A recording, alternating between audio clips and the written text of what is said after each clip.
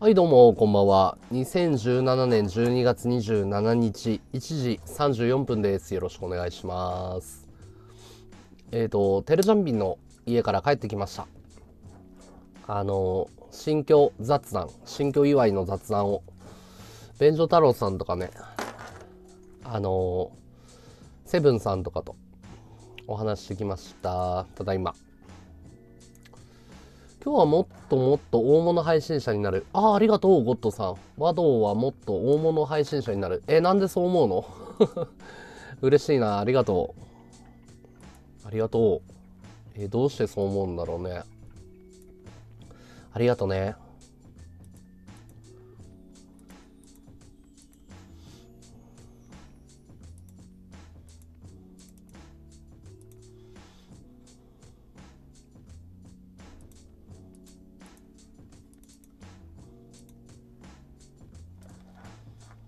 和道オーラがあるいやー、どうだろうね。ないと思うよ。俺はね、人間のオーラがあるとかないとかってよく言うじゃないですか。あのね、人間自体にはオーラっていうものはないと思ってて、オーラって周りの人間が作るものだと思ってるのね。オーラっていうのは。自分にオーラがあるとかあんま思ったことないな。取り巻きの人間が作るものだと思ってる、オーラは。いやブランドを守れるかだよね。オーラね。オーラって何なんだろうね。うん、オーラって何なんだろう。なんかこう、この人すごいなっていうのはあるよね。実際どの業界でも。すごい人はいっぱいいるんだよね。ありがとう。でも、そう言ってもらえると嬉しいよ。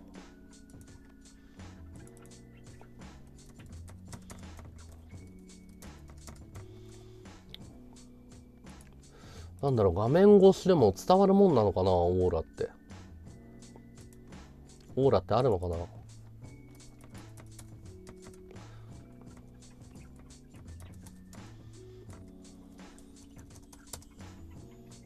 新陳代謝の高い人はオーラあると思う。朝青龍はすごかった。カファイターはすごいよね。実際レイセフォー俺見たことあるんだけど、やっぱり二回りぐらいでかく見えたね。すごかった。うん、朝青龍はね横綱になるフィジカル持ってえー、とフィジカル持ってるわけだからとんでもないぐらいすごいだろうね。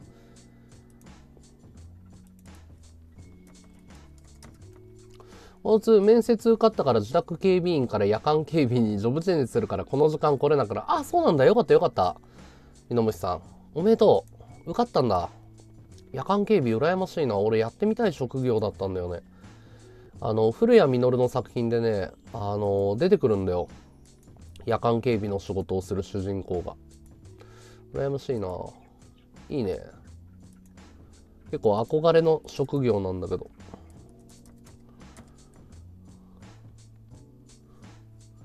いいな夜間警備。いい仕事見つけたね。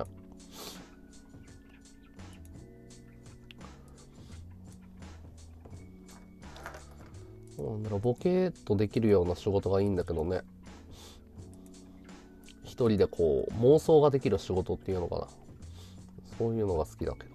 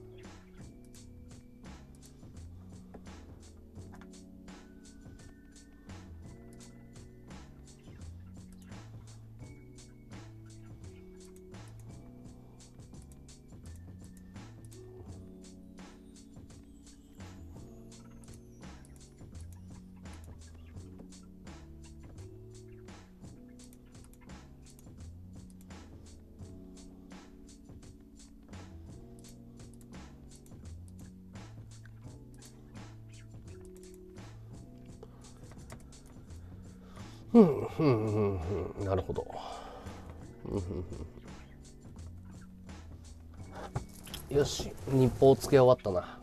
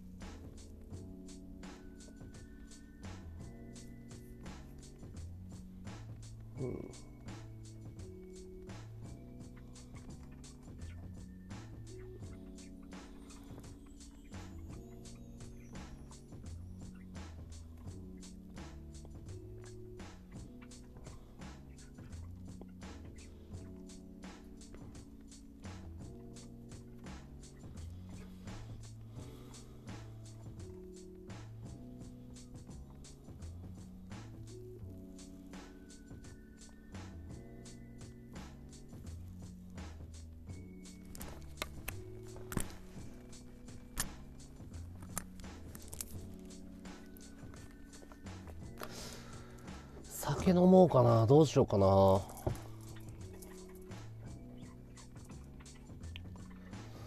酒飲もうかどうしようか。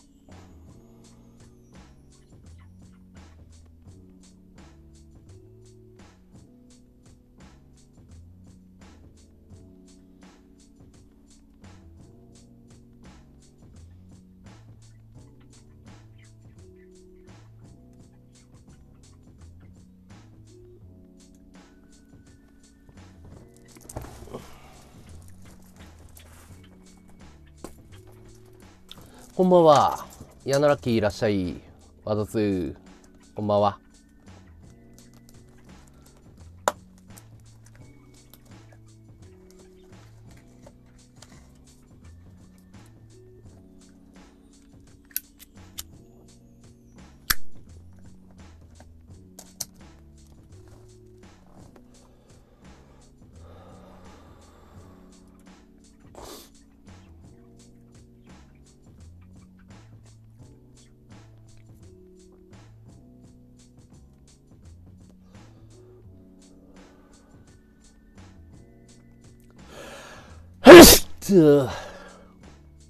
い、ただいま。テルの家行ってきたよ。帰ってきた。うん。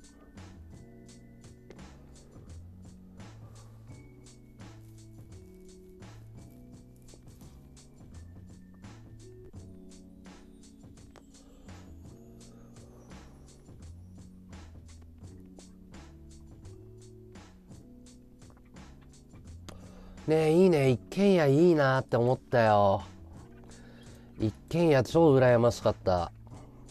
いいねやっぱり一軒家は。羨ましいわ。いいな。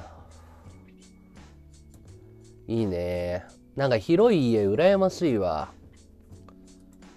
うん、絶対楽しいよ。和道のような人をストイックなワールドに引き込む配信スタイルは他にない。ストイック？俺別にストイックでも何でもないよ。ん？どうしてそう思うのペロさん？なんか結構やりたいようにやってんだけどね。うん。ストイックかな？うん。いや、結構叩かれてるよ。ああだこうだ。いろいろ言われてますよ。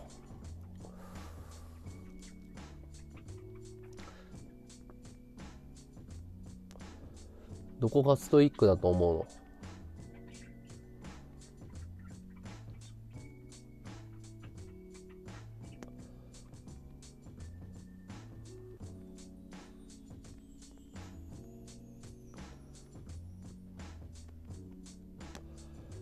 ストイックってなんだろう？全然自由に自由奔放にやってるつもりなんだけどな別になんかリスナーさんにストイックな感じを強要したりしてないと思うけど。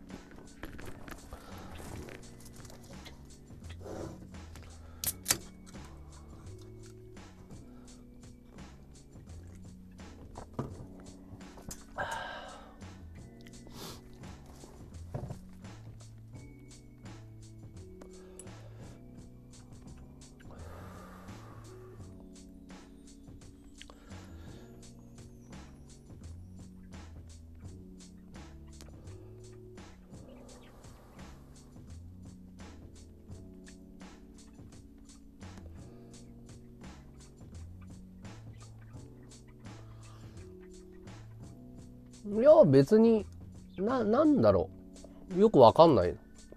他の配信者のなんか違うところある？なくない？別に。普通だと思うけど。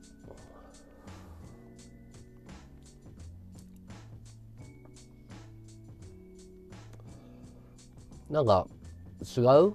他の配信者と。別になんか普通だと思うけどな。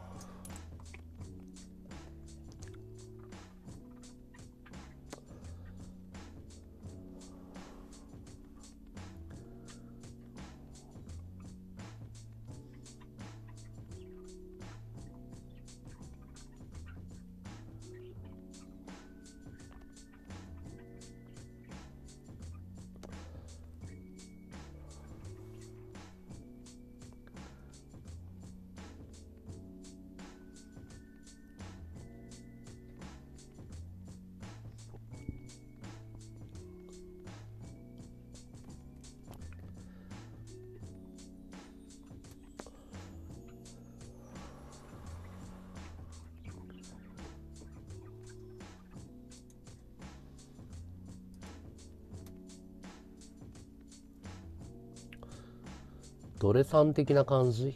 うん、ごめん、ペロさんが何が言いたいのかわかんねえわ。ちょっとわかんねえわ。ごめんね。うん。シルバーアクセサリー、どうだろうね。うまくいくといいと思うけど。うん。まあまあ、なんか、遊びじゃん。遊び。全部遊びだと思ってて。全部遊びでしょ、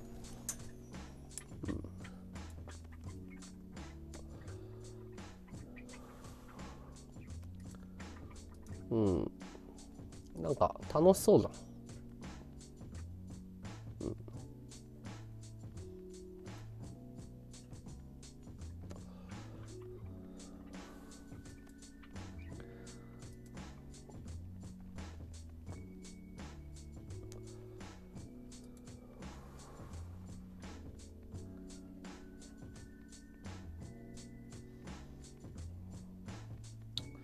飲む。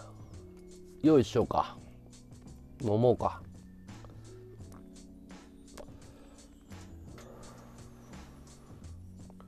飲もう飲もうか。じゃ晩酌しますか。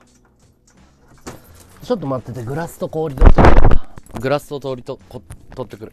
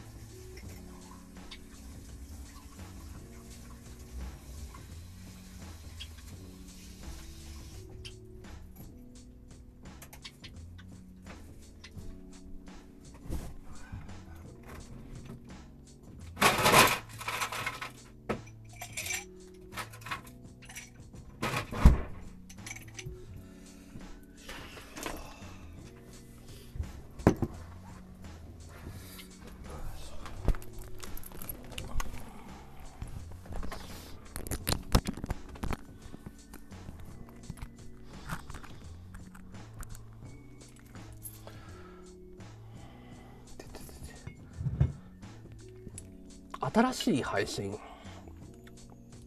なんかその配信配信ってさ結構その例えばふわっちをやってたらこうふわっちの中で比べられるわけじゃん。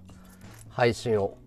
でもさ本来はさその人が喋ってるだけの電話みたいなツールだからあんまりなんつうんだろう。配信がどうとかってないと思うんだよね。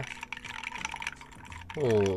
その人間が面白いかどうかでしょで、つまんない人はさ、何やってもつまんなくて、面白い人は面白いし、あと、相性があると思うの。KP。KP。だから、なんつうんだろう。ただ普通に合うか合わないかだけだと思うんだけどね。うん。なんか、ちょっとリスナーさんは、こう、お客様気分な人が多いのかなっていう。うん。こう、俺ら客だぞ。お前ら配信者だろう。みたいな、なんか関係とかも変だなって思うし。なんかさ、お店とかもそうなんだけど、本来ってさ、いいお店とかだとお客さん選ぶでしょ。で、俺はなんかそれが、それでいいと思ってて、なんかお客様は神様ですとかさ、あんま思わないんだよね。うん。なんかその、いい空間を、その役割は違うけど、いい空間を一緒に作っていくのはお客様の方もあるっていうか、店を育てるのも客だと思うし。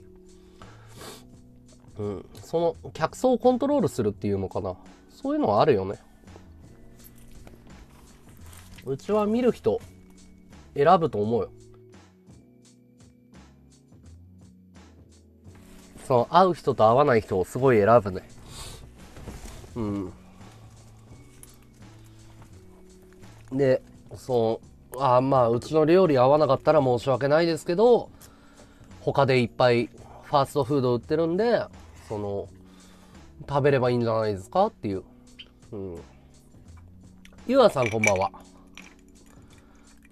ファーストフード食べたい人はファーストフード店に行っていいんじゃないですかっていう、そういう感覚はあるかな。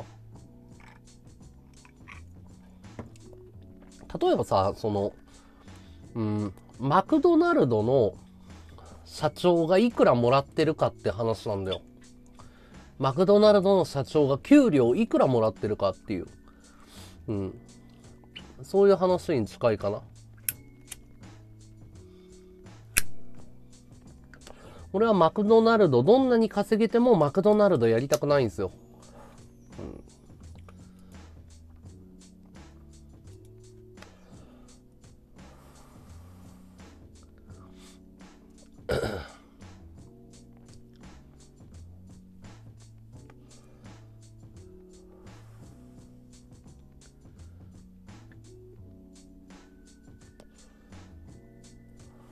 こんばんは、ゆあさん。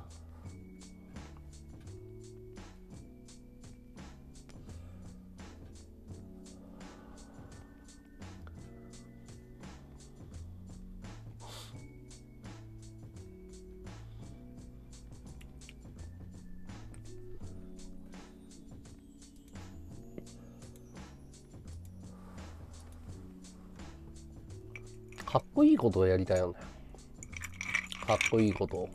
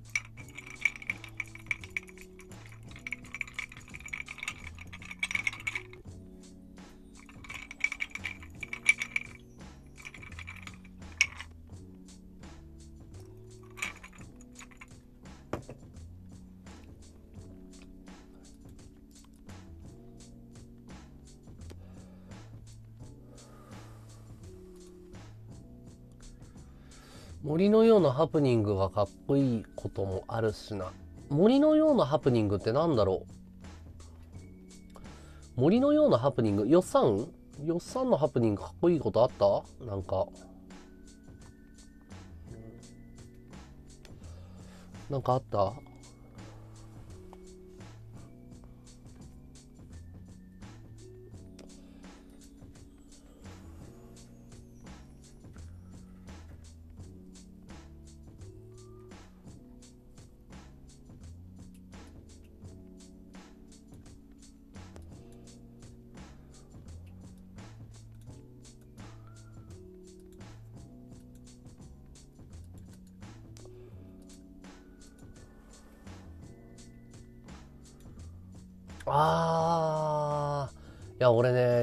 んがかっこいいなと思ったのは一個あって一個あるんだよ。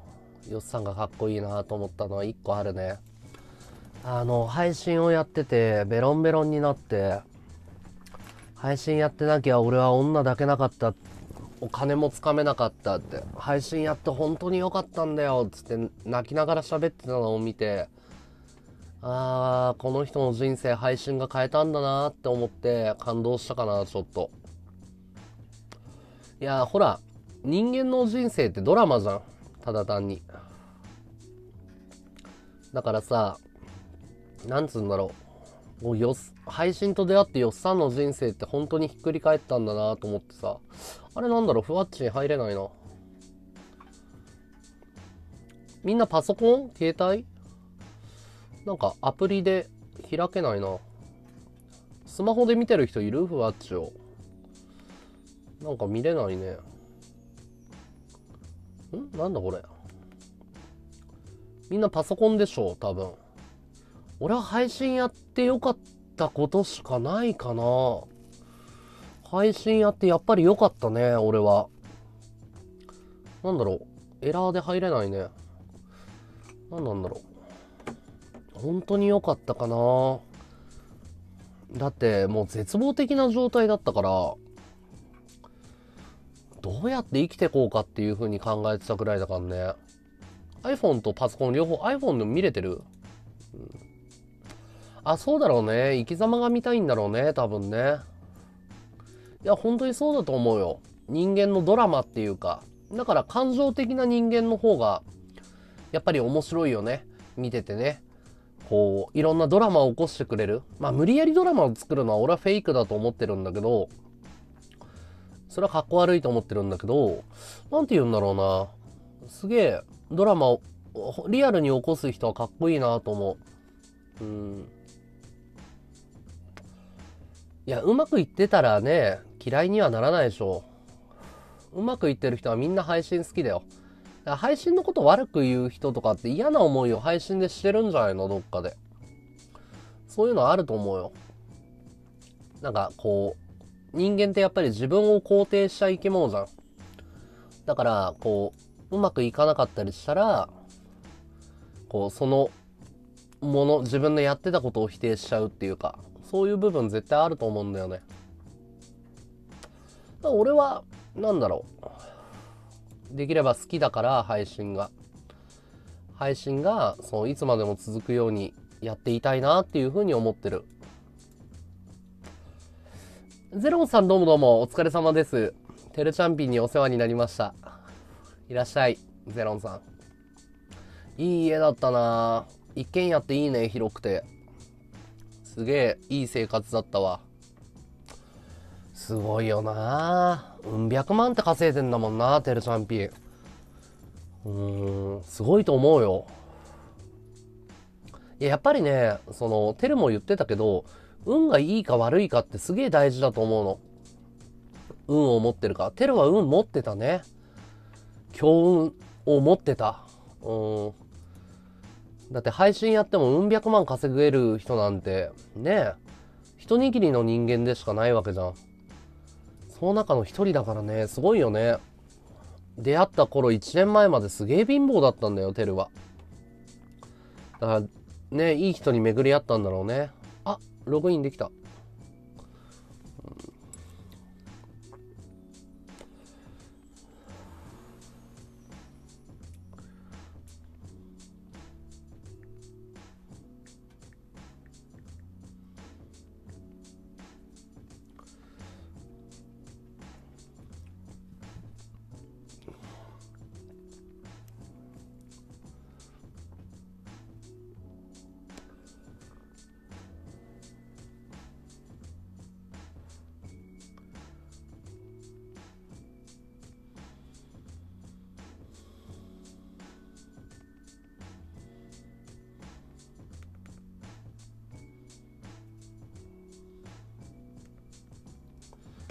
ああ、まあまあ、あのキャラクターはすごく、俺、初絡みに近くて、何回か面識はあったんだけど、がっつり絡んだことなかったから、絡んでみたいなと思って。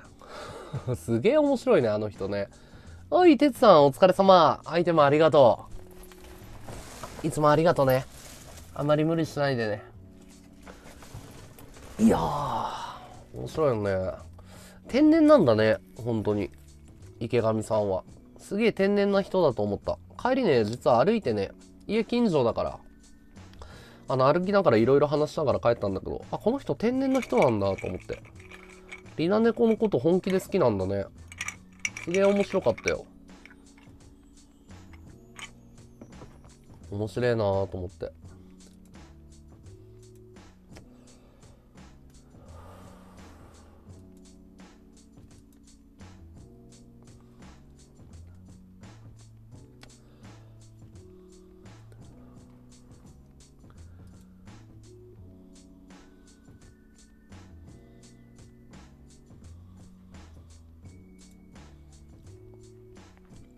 や、プリン突っ込んでたっていうか、やっぱコメントの中にヒントがあって、コメントで食パン買おうとしてたんだぞとかさ、面白いツッコミがあったから、やっぱり池上さんの面白さを広めた方が面白いじゃないですか。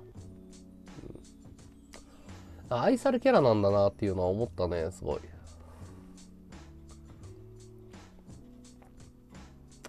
あいつっていうのはテルチャンピンのこと？あいつっていうのはテルチャンピンのことかな？うん。だ、誰のことあいつっていうのは？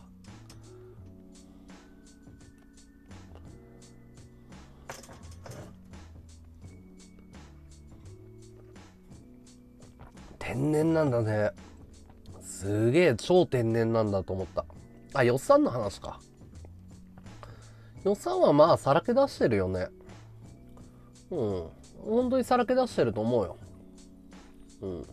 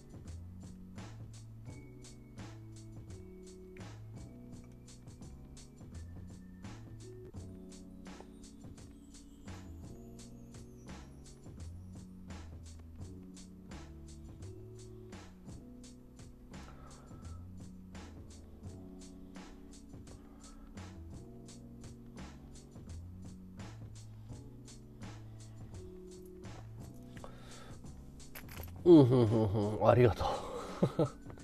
照れるよ。ありがとう。やり残したことどうなんだろうな。うんなんか人生トライアンドエラーだと思ってて。なんかこううーんまあなんだろう。やりきりましたよ。なんだかんだ。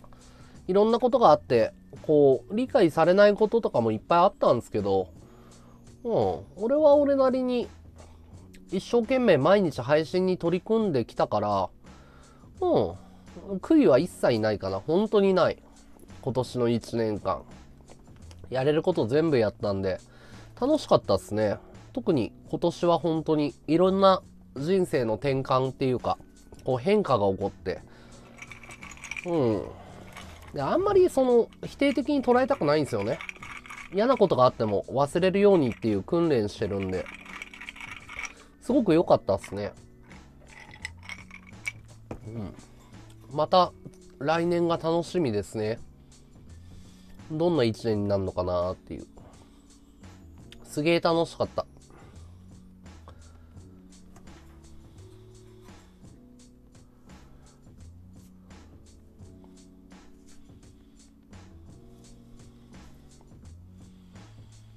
うん。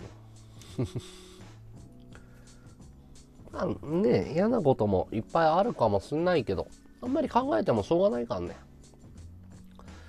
嫌なことが起こらない人生っていうのが俺はないと思ってるから。うん、いいことしかない。生まれただけでラッキーだからね。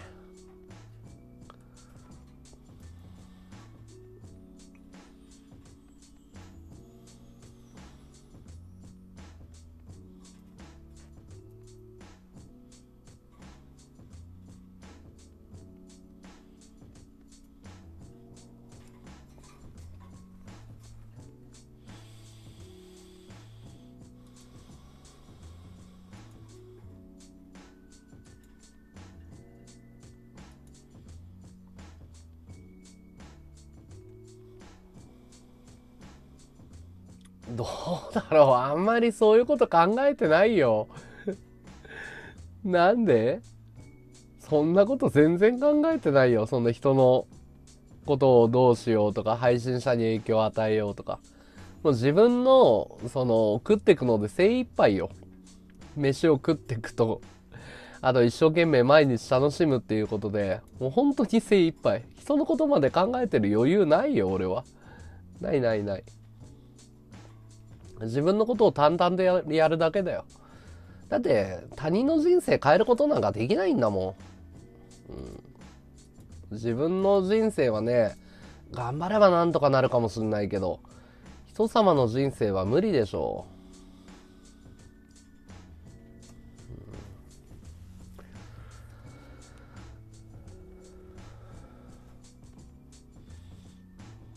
う。俺はだからもう自分のことしか考えてないよ。なんかね、でも、放送見てくれたりした人がなんかいい気分になったりしたらすげえ嬉しいけどね。うん、それだけかな。なんか同じ人間同士の関わり合いだと思ってるから、なんかみんながハッピーになればいいなとは思うけど、何か影響を与えられるとは思ってないね。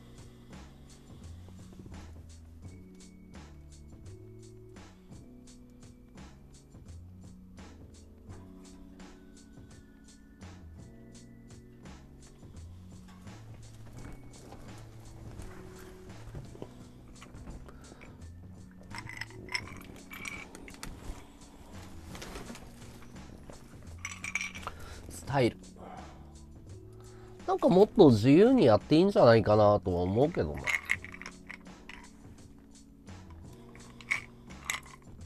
なんか自由にやってる人が好きだね。自由に生きてる人が好き。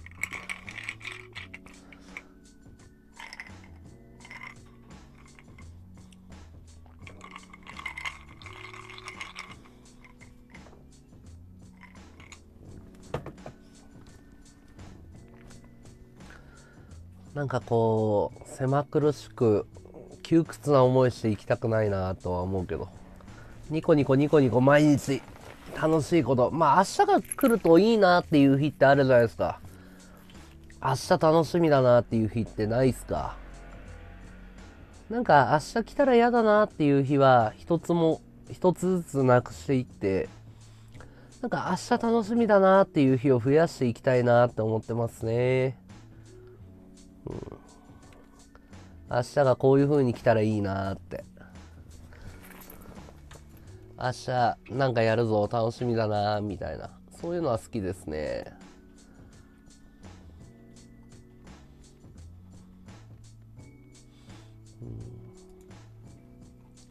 そういう風にあってほしいなって思うし。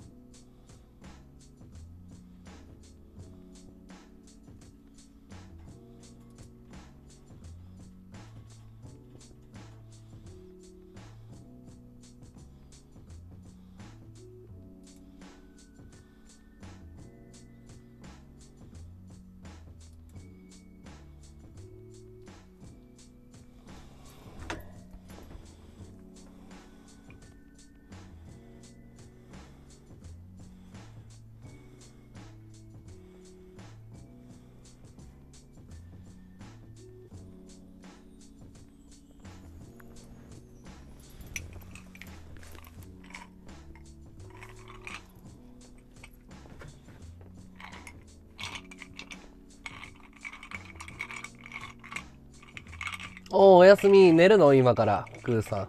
おやすみ。良い夢を。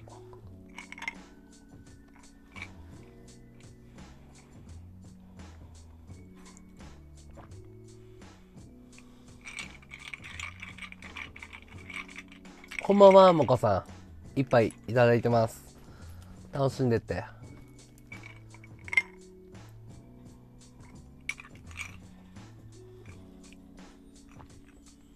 まらなかったね。ポポちゃんいらっしゃい。楽しんでってください。和道です。止まらなかった。俺ね、ちょっとね、あの、大人数のところが苦手な部分あるんですよ。ちょっとね、コミュ障ではないんだけど、人間関係作るの下手で、うん、ちょっとね、大人数苦手なのね。だからね、あの、こういう時はね、すぐ帰っちゃうの。アクセサリー制作はね、順調ですよ。いい感じです。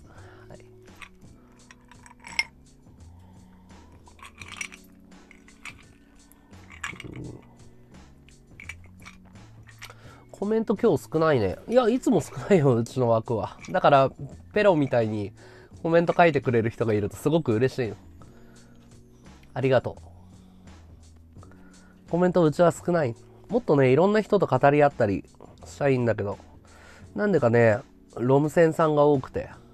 うんでもこの前嬉しかったな。駅前でね、コンビニ行ってくるわって配信中にタバコ買いに行ってくるねって言ったら、トラックのうんちゃんが、プップープップーって鳴らして、うわなんだと思ったら、和道くんって、トラックのうんちゃんが、ロム線のリスナーだよって、こんなところで会うと思わなかったって言って、家そこですっつって、頑張ってねって、いつも見てるよって。うん、百姓さんいらっしゃい。今年もよろしくね。あと4日ね。あれは嬉しかったな。今でもね、どっかを運転しながら聞いてくれてるのかもしれないよ。びっくりしたって叫んでも。嬉しいよね。嬉しいよね。そういうなんかこう、見知らぬ誰かじゃん。俺にとっては。世界のどこかにいる誰かが見てるんだなって、その旅配信とかをした時とかも、あの、現地の人とかと触れ合うわけじゃん。すごく嬉しいよ。仕事中にイヤホンつけながら聞いててくれてるんだって。鈴木さんいらっしゃい。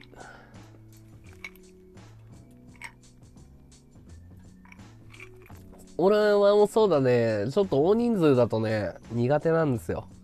だから、ね、あの、皆さんの気分害さないようにすぐ帰るようにしてるんです。可愛かったっていうか、もうリナ猫そっくりで面白いよね。リナ猫のコピーだから。おい、佐々木さん、ワード2。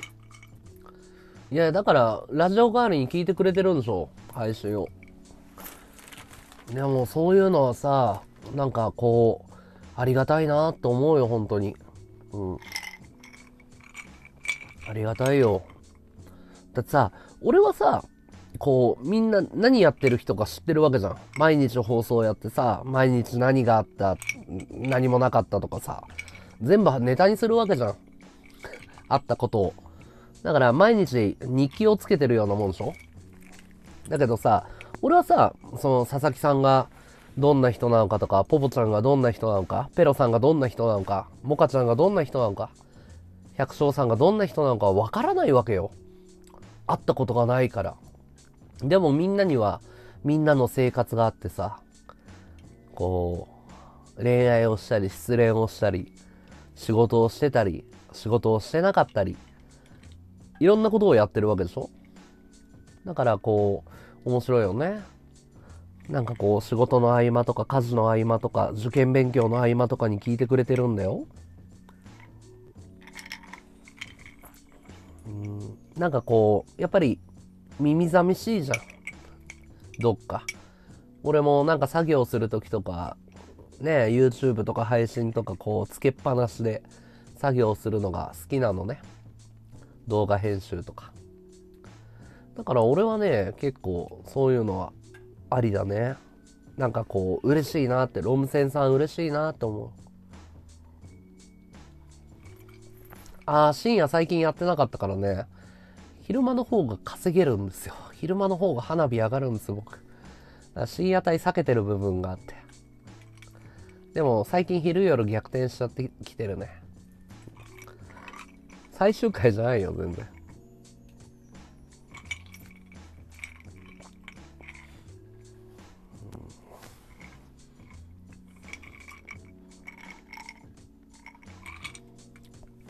寝ちゃうの。あの寝る時の睡眠導入剤みたいな。いやでも嬉しいよ。落ち着く？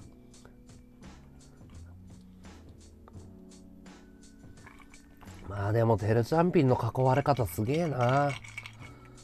てるチャンピンすごいよね本当に。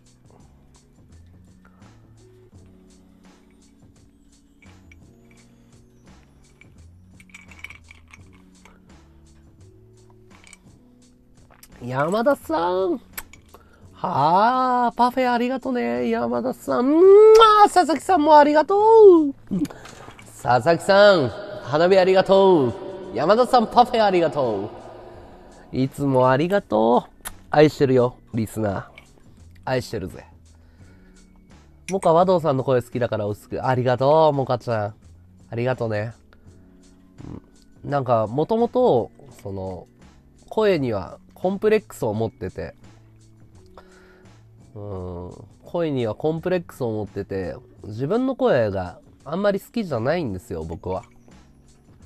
でもみんなが好きって言ってくれるから、本当にコンプレックスなの。うん。なんだろう、滑舌が悪いのと、発音、できない発音、苦手な発音とかがあって。だからね、和道さんの声、寝れるよとか、和道さんの声、きだよって言ってもらえるとすごく嬉しいの。うん。うん、いやいや、あのね、うーん、ペロさんね。いや、俺はペロさんみたいなリスナー大事だと思うよ。ただね、うん、俺はインターネットの文化の中で人をこき下ろしたりとか、あんまり好きじゃないのよ。で、ペロさんはそういうリスナーさんじゃないのはわかるけど、俺ペロさんみたいなリスナーとはほら、好きだからこうやって会話をしてるわけじゃん。でもなんかこう人の悪口を言ったりとか、こう、人の悪いところを見つけようとか、そういうなんか妬みとか、そういう文化ってあんまり好きじゃないのね。なんでかっていうと、その人自身が、こう、良くない環境になるっていうのを俺はよくわかってるの。その心がどんどんすんでいって、その汚い言葉を使うってことは汚い心なわけじゃないですか。だから、なんかこう、人を、こう、和道を楽しもうっていう風に関わってくれる人は俺大好きな。だから、その、普通にやろうって。普通に会話しようって。友達と会話するときにさ、おい、なんだ、おめえなんとかかんとかだろうっていう言い方しないじゃん。仲のいい友達と話すときに。おコリン星久しぶり。声いいかな。だから、なんだろう。なんかこう、いい雰囲気っていうか、いいバイブレーションみたいなのってあるんだよ。こう、中学校の時とかさ、高校の時とか気の合う人とかいなかった？すげえ朝まで語れるなっていうかさ、そういう人たちが集まってくれたら、すげえ楽しいと思ってて。で、そういうのって心の安らぎになったりとかさ、帰ってくる場所になるじゃない？俺はそういうの大丈夫だと思う。それがね、テルチャンピンに聞いたんだけどね、テルの魅力何なんだろうね。うん。まあでも、人に好かれる才能があるんだと思うよ。テルは。でね、不思議なんだけど、だんだんかっこよくなってきたんだよな。最初はね、そんな、なんか、優しい青年っていうか、ね、ちょっと優しくて、こう、なんかこう、気のいい青年っていう印象だったんだけど、まあ変わってはいないんだけど、だんだんなんかこう、イケメンっぽい雰囲気になってきたよね。最近小田切城に見える時あるからね。なんだろう。どう、どうなんだろうね。わかんない、それは。うん。何なんだろうな。まあでも、テルはテルだし、俺は俺だから。俺がテルの真似をしたところで、テルにはなれないからさ。うん。バーコードいらっしゃい。癒しなのかな？どうなんだろうね。悪い言葉使ってるのは悪い環境にいる。そうそう。で、気づかないんだよね。環境ってさ、なかなか気づけなくて。そうなんだよね。だから少しでも、その、やっぱりこの環境を守りたいのよ。人数が少なくてもいいの。生活ができれば。で、あの流行らなくてもいいの。正直。うん。なんかここにいて、ここの仲間たちが仲良くて、毎日こう笑顔で過ごせて、で、俺は最低限飯食えればそれで本当に幸せなのよ。だって、好きな人とね、好きなことをやって生活できるわけだから、から本当に幸せだよ。うん。うん、いやー、恵まれてるよね。恵まれてる。男と、どうなんだろうな、同性に好かれるっていうのはすごく大事なことだと思ってて。異性に好かれるってさ、ほら、恋心だったりするじゃん。だからもう、相性でしょ顔が好みかとかさ。なかなか内面的な部分ないじゃん。でも、その異性じゃなくて同性の場合、なんかその考え方とかさ、生き方とかさ、気が合うかとかそういう部分だから、要はセックスとか抜きじゃん。女の人とか男の人は付き合う付き合わないセックスありきで、やっぱり、こう付き合いしないといけないから、だから何が言いたいかっていうと、和道リスナーは全員和道をオナペットにしてるっていう話なんだけど。うん、それはまあ冗談で、こう、なんだろう、こう、まったり、こう、なんか語り合える仲間がたくさんできたら嬉しいなと思うけど。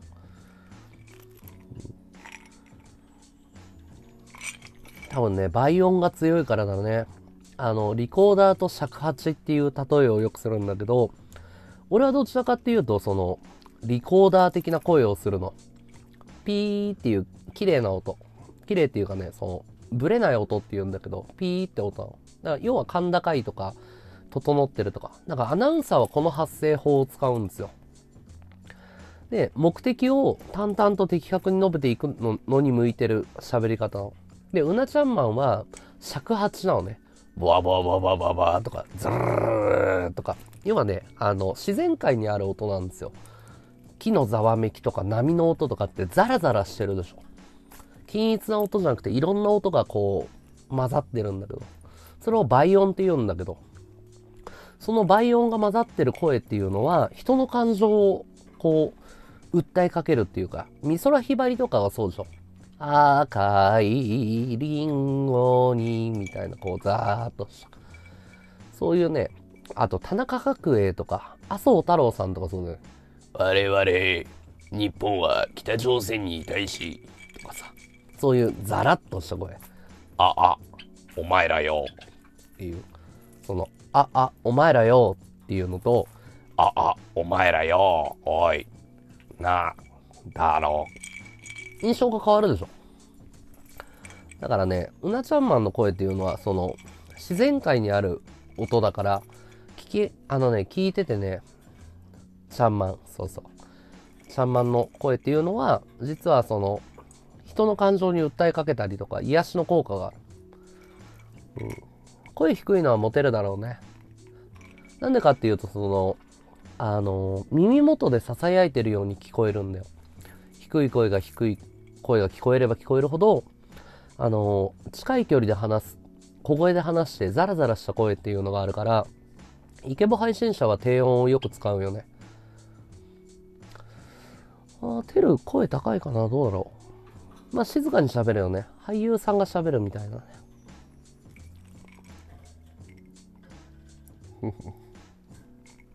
ありがとう、もかつさん。うん配信者、声いい人多いね。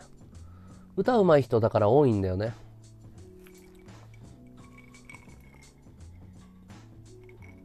歌うまい人多い。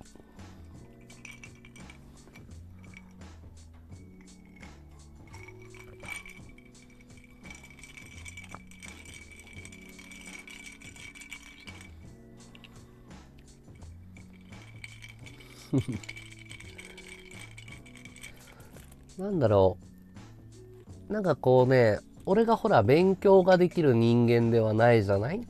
学力が高い人間ではないけど、その、自分が関心があることとかをオタクだからさすごいこう掘り下げていって知識のこう引き出しを貯めるタイプなのよ。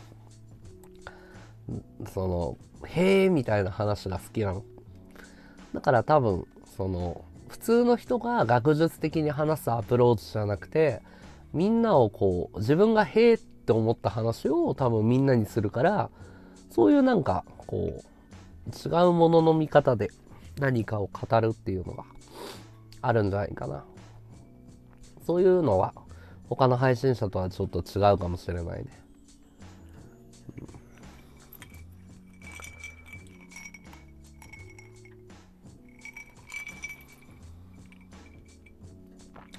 ラジオ声かな？どうなんだろうね。ラジオ声。あでもねもっと低い声使った方がいいと思うね。ラジオの声だったら。俺はあんまりその自分の声があんまり好きじゃない、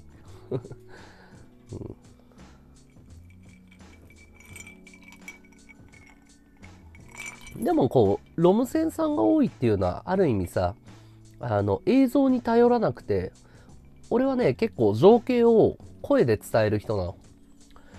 例えばその絵に頼る人だったらこれ見てこれ見て。ねすごいでしょこれ。ねこれなんだと思う？っていう言い方をするの。だから映像画面を見てないと成立しないんだよそういう放送って。でもそれはそれテクニックであるのね。だけど、俺の場合って、いや、ここにある琉球グラスいいだろこの赤の感じは、沖縄じゃないと作れないんだよ。このさ、って手ご手作りで作ったさ、質感とかさ、やっぱ普通で使ってるグラスとは違うじゃん。やっぱ自分で作った琉球グラスでお酒飲むと美味しいよねって全部言うの。情景を全部言うのよ。そうそう。だから、その映像を見なくても成立するんだよね。それはね、その声がラジオかどうかじゃなくて、話し方がその相手に耳でこう情景を与えるような、そういう喋り方かもしれないね。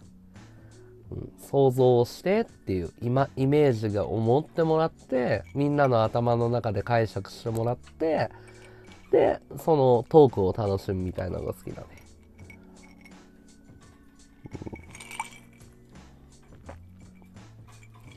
だからこう、その想像がずれたりするとすごい面白い、よく考えてるなって。考えてるわけじゃないよ。うん、考えながらやってるんじゃなくて説明するのが得意なのよ。説明がね、上手い人と下手な人ってね、あの、トークが上手い人と下手な人を一発で見抜ける方法があって、電話で、あの、場所を教えてもらうの。で、これが下手な人っていうのはトーク下手。今いる場所から、え、テレチャンピン家に行くのどうしたらいい？あー、あの、もうちょっと、今どこ？何見える？うん。あ、あの、もうちょっと歩いて左。で、左に行くと、あの、右側にコンビニがあって、そこを入って。下手でしょ。これはトーク下手な人。今、まあ、テルって名前使っちゃったけど、テルが下手って意味じゃなくて。そうじゃなくて、後ろに何が見えるって。じゃあ、何々を背にしてもらったら前に何々が見えるよねって。そうすると、前のところに何々っていう交差点わかる？うんうんって。そこを左に入っていくとって、その、細かいディティールを映像で見てるものをなぞれるの。説明が上手い人って映像が見えてるのよ。だから例えば、うーん、そうだな、すっごいいい深い赤でさ、実って、実はそんなに大きくないんだけど、すごい深い赤なんだよって。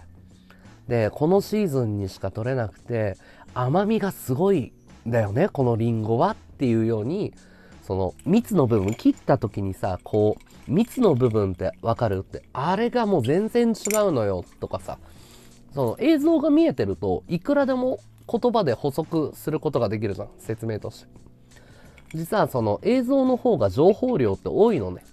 で言語って実は映像よりも介護感というか情報量が少ないものなの。だからニュアンスとしてはさこうイメージしにくいものなのね言葉っていうのは。そう。だから面白いんだけど。誤解が、言葉だけだと誤解が生じてしまったりとかするんだけど。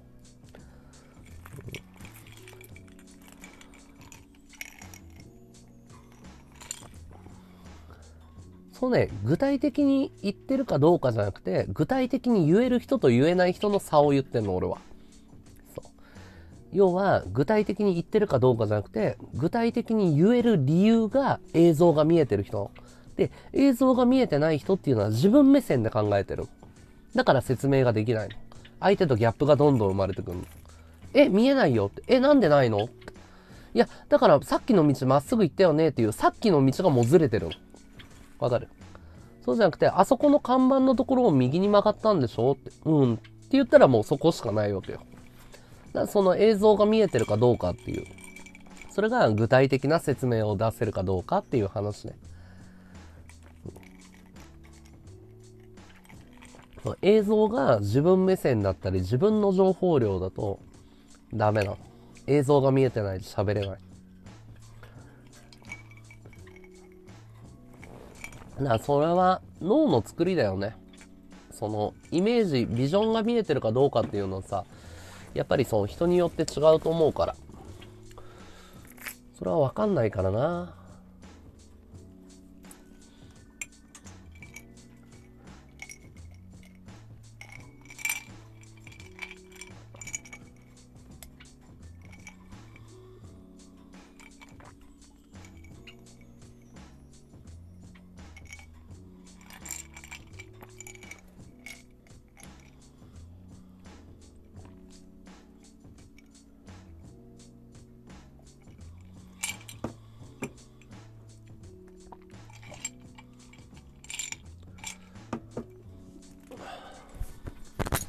おかわりしようか。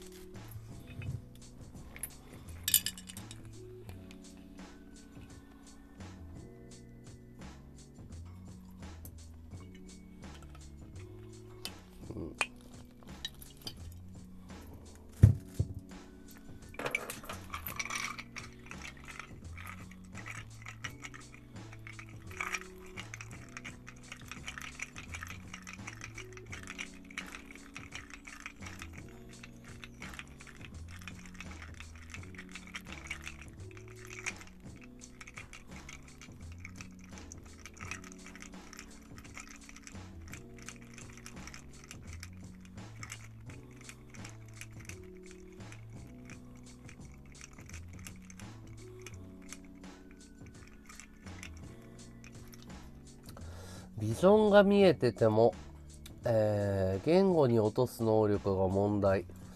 和道君は普通は相当訓練積んでるスピード。そうなんだろうな。もともと喋りがすごい苦手だったんだけど、もともと。あの、営業マンの時にすごい訓練されたかな。営業でね、トークの、ロールプレイングっていう、あの、トークの勉強があるのね。ロープレって言うんだけど、営業マンだったらロープレって必ずやるんだけど、営業やったことある人だったら聞いたことあるでしょ。そう。ロールプレイングをずっとやってきたから、その言葉で表現できる幅っていうのが大きいのかもしれないね。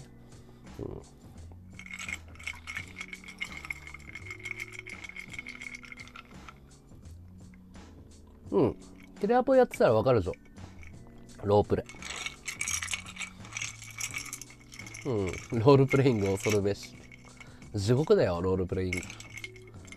うん、ただ、その、型と想像させるのすごく大事だね。うん、すごく大事。うん。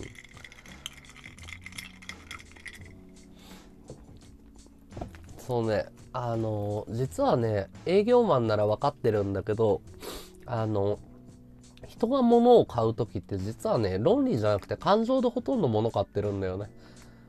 うん、いやー結構難しいよね。そう。人間ってその感情で物事を判断することの方が多いの。そうあれ嫌すぎた。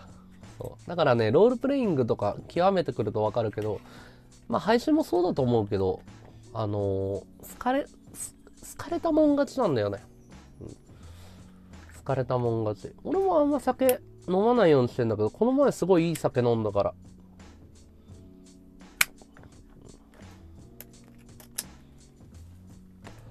いやー、すごい苦しかったけど、苦しかったけど、あの頃の経験がすごくありがたいかな。そう、喋るっていうことを好きになったし、武器になったから、あとはね、そのロールプレイングから、そのいろんなね、その話法っていうのを勉強していったの、独学とかセミナーとかに通って。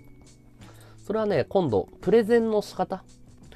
今度、ロールプレイングは営業の時にやるんだけど、あの、今度マスプレゼンとかさ、フェイストゥフェイスの商談とか、高度なテクニックも自分でセミナーに通ってさ、お金を払って、いろいろ勉強してきたの。そうそうそうそう、和道が進めてくれるなら何でも買うよっていう状態を作れると最高の営業マンだよね。うん。最高の営業マン。営業マンっていうのは、その、何でも売れるようにならないと営業マンじゃないから。あもちろんスクリプトは必ず作るよ、最初は。っていうか、スクリプトは普通上司が作るんだけどね。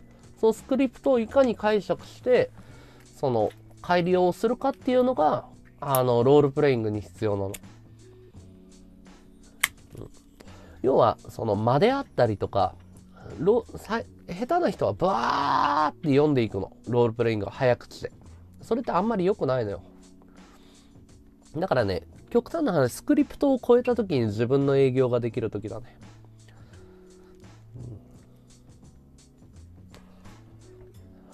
わ、かるものに関しては答えられるじゃん。わからないものに関してはわからないって言った方があの、いいと思ってて。俺分からないことをすぐ分からないって認める癖をつけてるのよ。人間ってさ、全知全能ではないから、全ての情報を手に入れてる神みたいな存在っていうのは人間の中に絶対いないわけじゃん。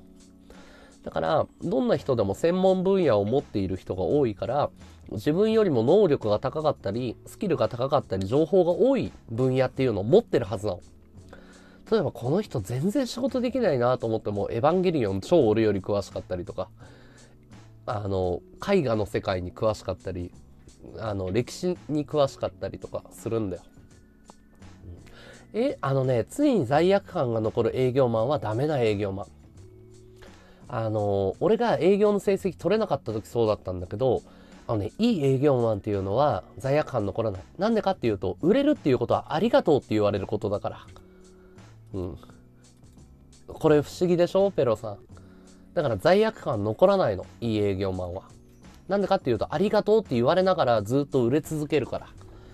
でしょ その罪悪感が残るってことは売れなかったりクレームを拾うようなトークをしてるからなのよ。要は信頼関係ができてない。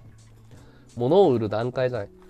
例えば、その、うん、心理学とかも勉強していくとわかるけど、営業マンって売ろうとしないのが正解なの。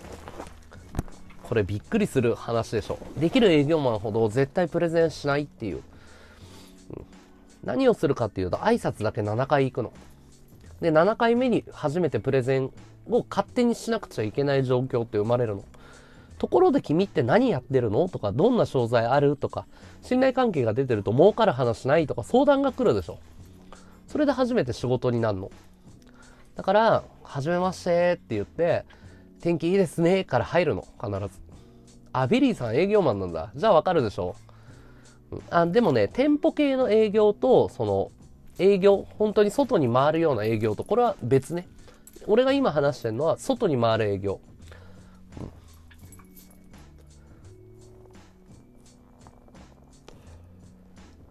売れないものを売るのが営業マンだよ。だけど、ペロさんの多分イメージした解釈っていうのは、売れないものを詐欺して騙すっていう風に考えたでしょ。違うの。営業マンっていうのは、まず会社に対する自信、商品に対する自信、えーえー、業界に対する自信、そして最後に自分に対する自信の4つの自信が必要だって言われてるの。例えばね、君の会社は創業して何年なの？いや、えー、っと、えー、っと、確か昭和60年ぐらいにできたと思います。買う？買わないよね。弊社は、って何年何月に、えー、代表の何々という先代が何年何年でこういう思いで起業しましてって、で、こうでこうでこうなんですよって。で、さらに質問したら、はいって。それで我が社は実はこの授業で失敗したんですけれども、こういうことでこの授業で当たりまして、ここに特化して今やっているんですよ。だから、こちらの授業の方ですと、お客様のお答えにはできないかもしれないんですけども、こちらの分野だとシェアナンバーワン取ってますよとか、要は会社に対する自信っていうのは、自信っていうのは何から来るのかっていうのかっていうと、あの、知識量なの。だからダメなやつっていうのは会社の勉強をしてない。だから新入社員っていうのは必ず会社の歴史を勉強するはずなんだけど、これを怠ってるの。で、次に商品に対する自信。ザイアンスとかね、あの、専門用語ね。あの、商品に対する自信っていうのは、その自分が扱ってる商品が何が長けていて、他社と比較して何がダメなのかっていうのを全部説明できないダメの。だからできる営業マンほど、あの商品これ買いたいんですけど、とかなんか聞かれた時に、あの、こちらの商品すごくいいんですけれどもって、で、例えば、どこどこっていう会社の商品がいいって言われたんですけど、どうなんですかって。実は他社の製品もすごくいいんですよって、そちらの方が売れてますって。え、じゃあなんでおすすめしないんですかってなるじゃん。実はこの商品はこういうところが優れてるんですねって。あちらの方が、その、いいものなんですけど、御社はこの商品に関してはコストが下がってるんですよって。お値段がお手頃なので、そういったあの入門的な感じでこの商品を買われる方は多いですねとか。そうすると安心でしょ？そう。商品に対する自信。で、業界に対する自信っていうのは、そのマーケマーケットっていうかその自分の分野だよね。うん。自分の分野。会社、商品、業界ね。そう。で、最後、自分に自信のないやつは売れない。自分に自信のない人は売れないそうそう。僕から買った方がいいですよっていう風に言えない人はダメ。うん、そう。その通りだったでしょ。で、これ今話してることって、あの、んていうのかな。あの、営業やってる人だったらすごくためになる話なんだけど、あの、すごいちゃんとした会社、あの、コンサルの会社で、あの、日本でトップ取ってる会社の研修、200万かかる研修でちゃんと教えてるやつだから、間違いないですよ。上場企業のあの役員とかが研修に受けるプランのやつだから。うん、そうそう。洗脳とは別なのね。要は、相手にとって優位な情報、自分にとって不意な情報でも話せるような状況を作るっていう。うん。それが大事なの。先にちょいらっしゃい。うん。住友商事がどういうことだったのかごめん俺勉強不足だからわからないわ、うん、住友商事がどうなのかがほらフェロが住友商事の情報を持ってるわけでしょでどこの部分とどう結びついたのかっていうのかわかんないけどまあねあの上場企業のね例えを出してもらえて嬉しいよね。ね。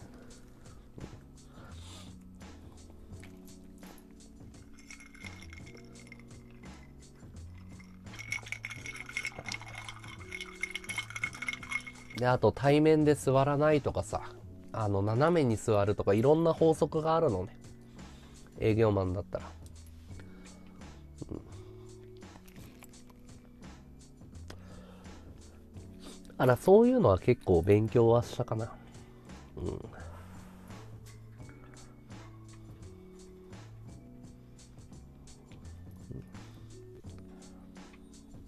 要はその技術が高ければ高いほどそのできる営業マンだよねうん。ちっちゃいものから買ってもらうっていうかね今度マーケティングの話になると面白いことが起こっててスケールフリービジネスモデルとかそのそれに近いカートリッジのモデルとかが出てきてあのもう日本ではもうおなじみになってきたんだけど実はあのジレットっていう会社がなんで流行ったのかってジレットって世界一のカミソリのシェア率を持ってるんだけどジレットは刃の方と本体の方ってどっちの方がコストかかると思います？通に考えて。あの持つところと刃の替え刃の部分って。冷静に考えたらさ持つところの方が材料費かかるわけじゃん。でかい物質だしパッケージもかかるし。でもジレットの面白いところはあの本体の価格を下げたの。赤字なの。だけど替え刃の料金を高くしたの。で一回使っていいってもう絶対にこの紙紙ソリ実際いいのよ。第3風船ありがとう。実際いいのね。買えばだから一回使ってもらえたらシェア取れるっていう自信があったから実は年間通すとすごい高いのコスト的には。っていうようにあのコーヒーがそうだよね。あのでっかい機械さ数万円する機械を6000円とかで渡したりタダで渡したりして中のカートリッジがインスタントコーヒーなんだけど高いやつとかってあるでしょそういうビジネスモデルとかもあるからそれは営業マンじゃなくて今度経営手法でマーケティングね。そうそう対面でいいやつは斜めはリラックス。そうそうそうそうそう。目線をずらす。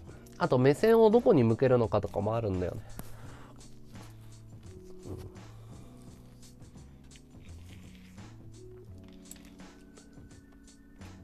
そうそう B2B と B2C っていうのはあのまあ、B2B ビジネスモデル要はビジネスとビジネスつなぐモデルなのかビジネスからクライアント顧客カスタマーに落とすビジネスなのかっていう。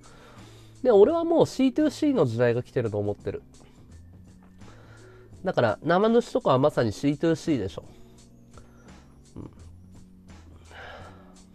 座談会疲れた。うんちょっと。もっこりさんいらっしゃい。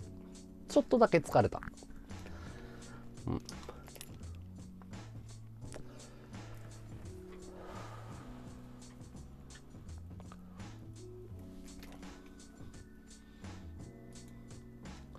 うん。俺は C2C だと思ってるね。C2C の時代が来たと思ってる。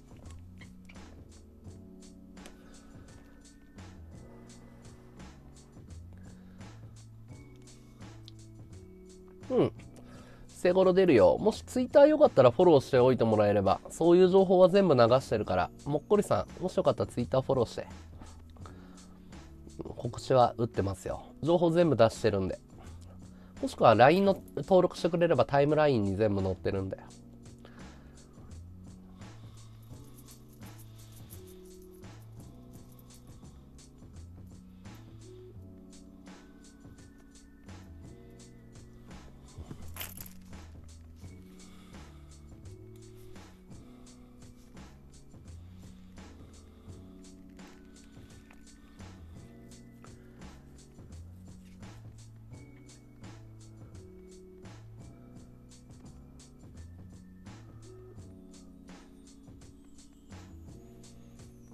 戦相手は直樹兄さんだよ。直樹兄さん。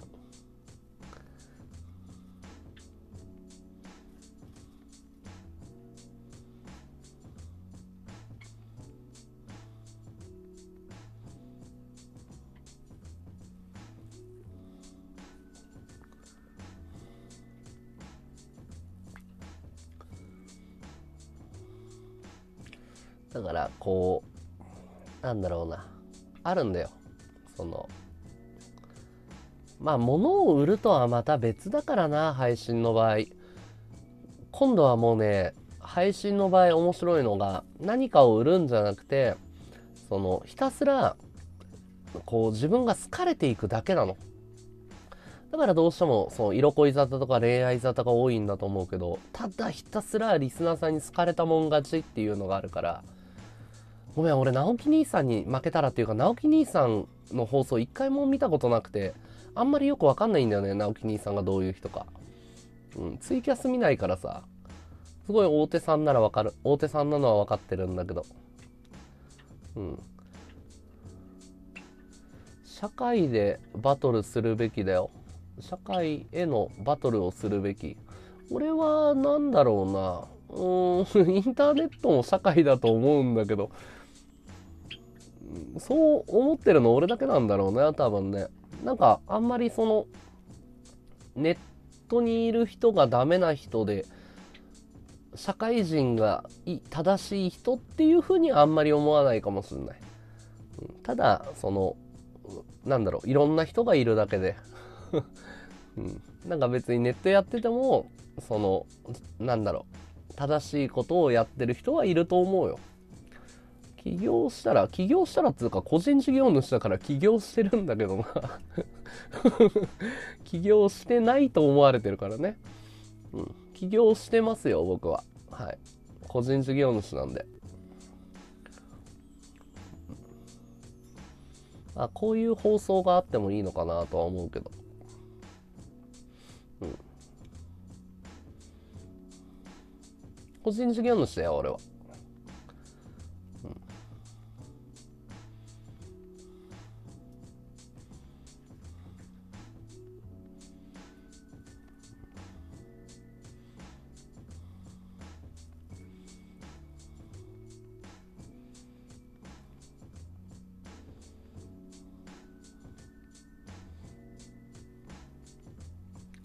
ネット民の救済者的なポジションを取るべきだと思う。うーん、救済者。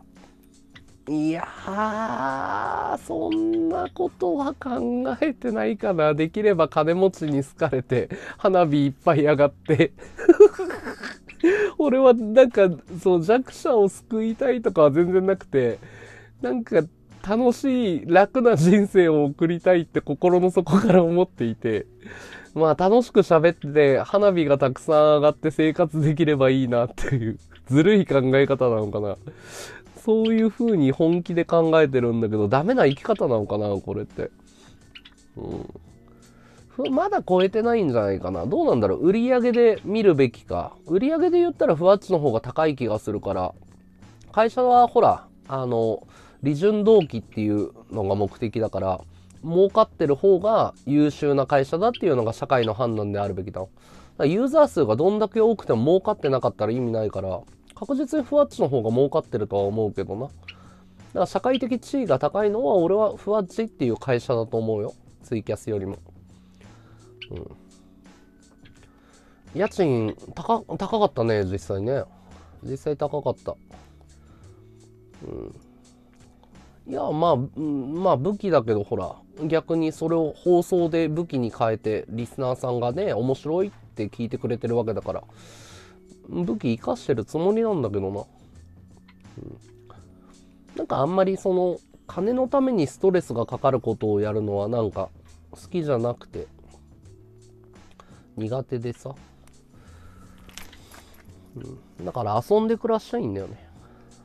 うん遊んで暮らせると嬉しいなって思ってる。うん、だから楽しい話いっぱいして楽しいと思ってくれた人に支援してもらうっていう。そういうスタイル。ダメだな。自由かな？大丈夫かな？まあずるい生き方かもしれないよね。うん。ずるい生き方かもしれない。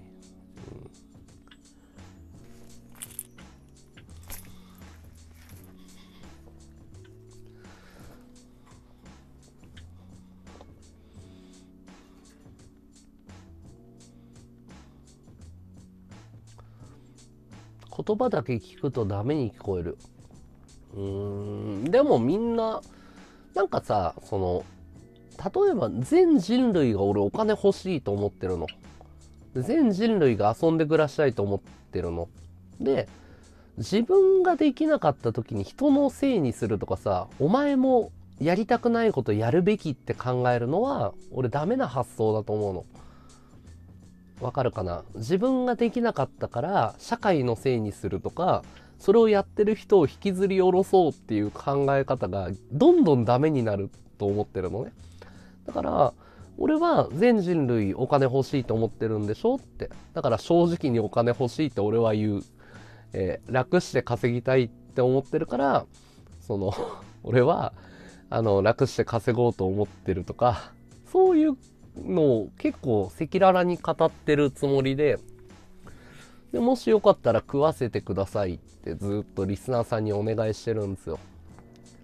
うん、有名になりたい、お金を稼ぎたい、楽しみたいって本気で考えていて。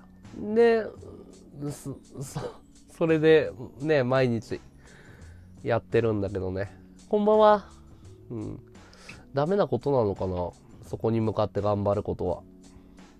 人よりも努力してると思うんだよね。うん。いやー、言わないよ。だって、俺の家賃はいくら言ってもいいけどさ、テレチャンピンの家賃を言ったらさ、特定されちゃうしさ、個人情報じゃん、やっぱり。個人情報。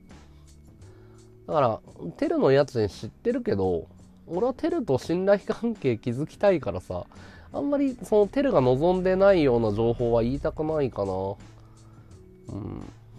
ごめんね。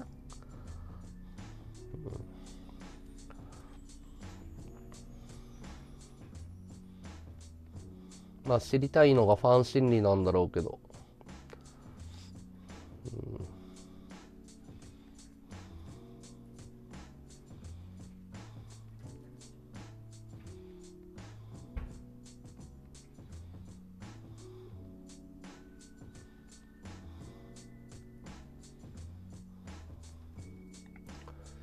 家入一馬に似てますね。よく言われた昔。家入一馬とか、よく言われた。でも俺、家入さんの思想あんまり好きじゃないんだよな。俺、あんまり家入一馬好きじゃない。俺、坂口恭平は好きなんだけど、家入一馬は、あんまりピンとこないっつうか、なんかね、あの人、かっこいいんだけど、かっこいいっつうか、なんつうんだろう。ネクラじゃん。家入一馬って。いや、行動力もあるしさ、なんかこう、上場企業も作ってるから、すごい頭がいいんだと思うんだけど、あんまりね、なんかネクラな感じがあんま好きじゃないんだよね。なんか発想は面白くないっていうか、うん。あんまり家入一馬好きじゃないかもしれない。うん。うん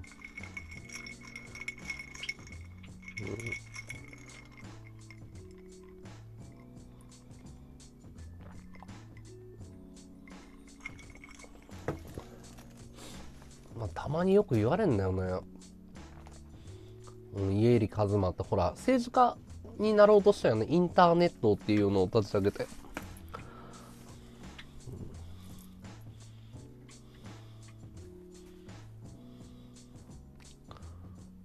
俺はまあ、メンターとかにはしてないかな。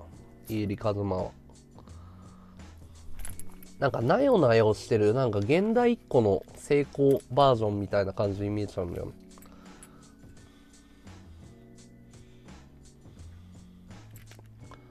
この人もすごいせ何百億って手にしたらしいもんね上場益で。会社売り抜けて。でもその後お金なくて出馬する時堀江さんに金借りたんでしょ？借金したんでしょ？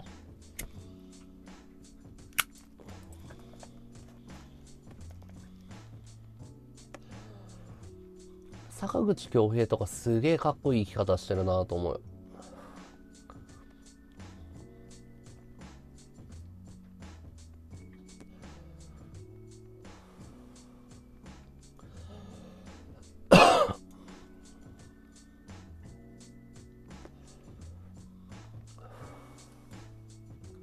なんかちょっとショックだな家入一馬って言われるのは。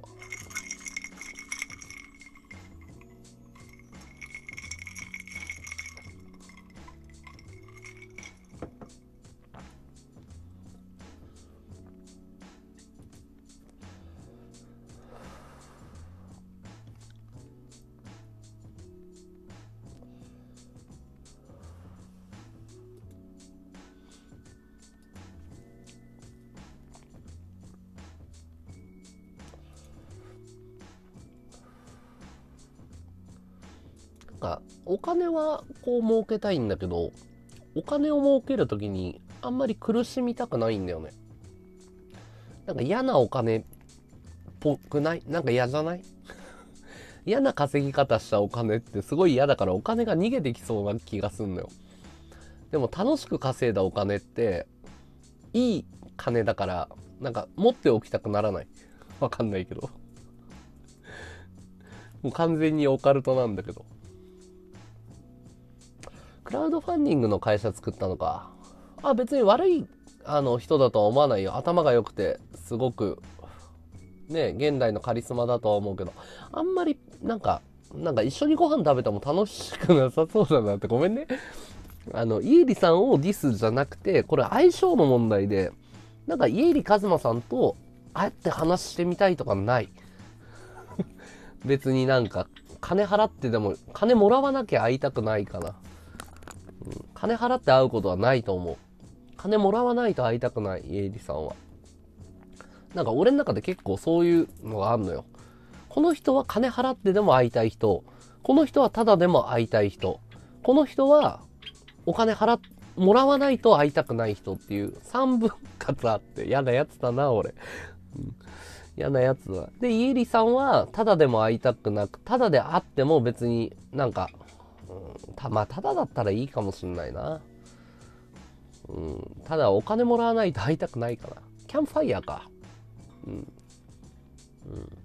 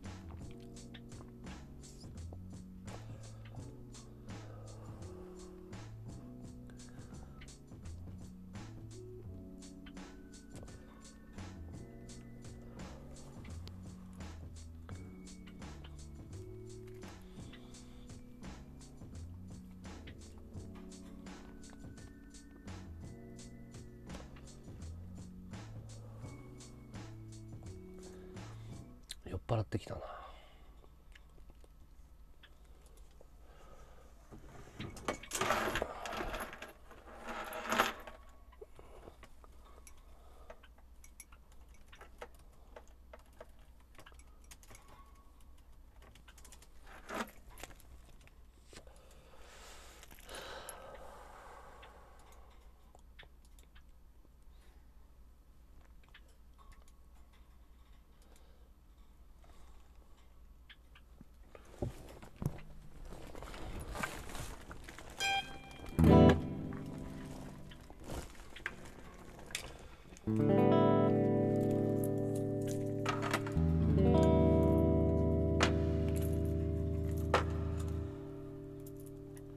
シルバーブランドのコンセプトは俺が欲しいものだね。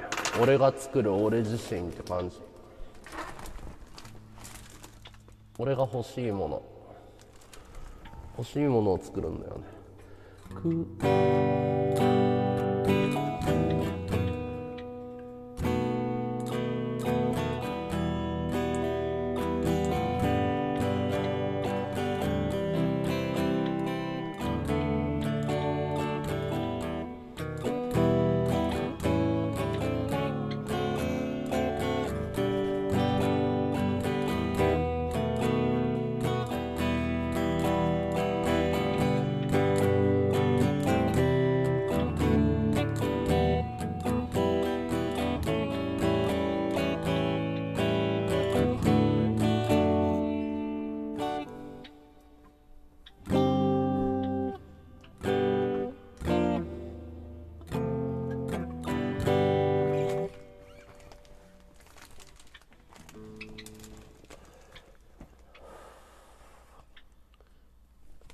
そうそうそう自分が自分が欲しいものをさ手に入れたいっつうか。それを販売したいんだよね。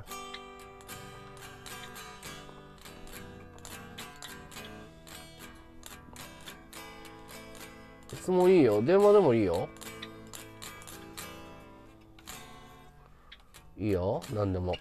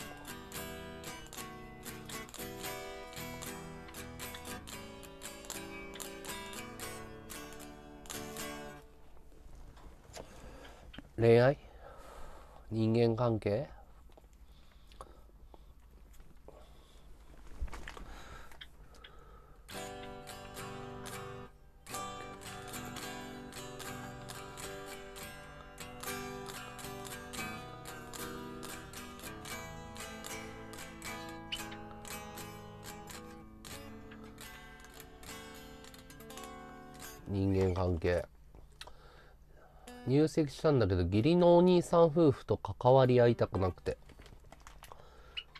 うーん。結婚向いてないね。結婚向いてないと思うね。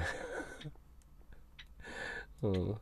結婚って自分のためにするもんじゃなくて周りのためにするもんだと思ってて。結婚向いてないかもしれない。俺ごめんね。ごめんね。変な俺俺の変な言い方で。結婚向いてないと思うよ、うん、うん。ああ当たってた。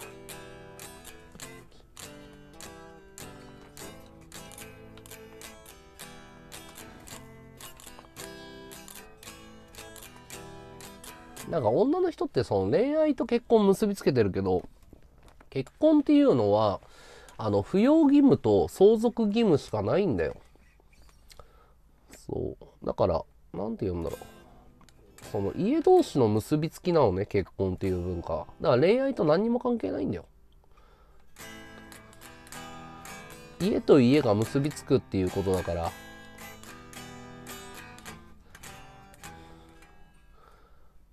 だから向こうの家と付き合うかって話なの。女の人がそれを誤解してるよね。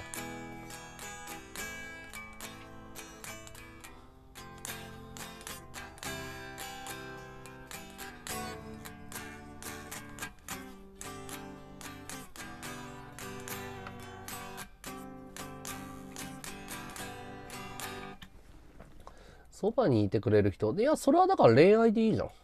うん。それは恋愛でいいじゃん。俺とのんちゃんとかそうでしょ。うん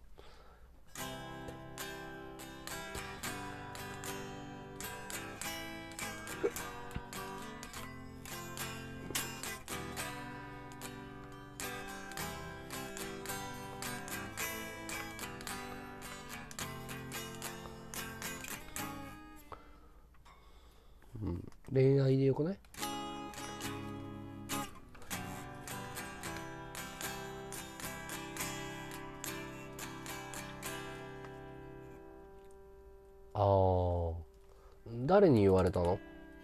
結婚しなさいって。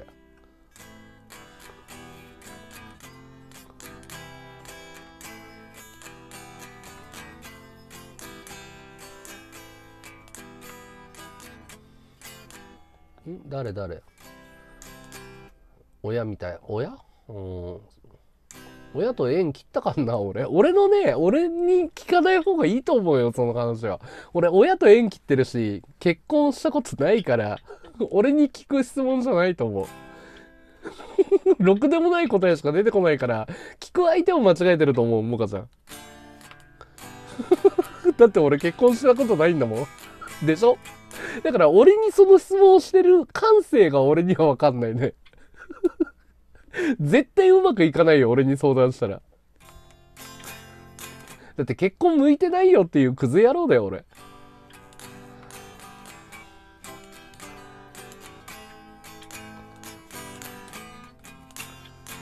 それは別の人にしな結婚うまくいってる人に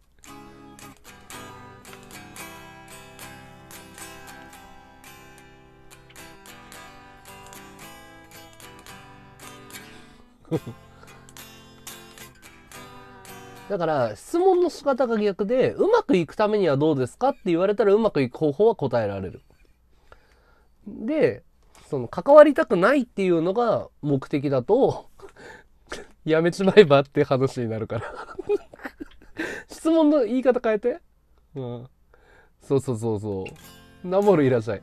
だから質問変えて。結婚生活をうまくいきたいとか、お父、お兄さんとか、兄弟と仲良くなりたいって言うんだったら、その答えを出すから。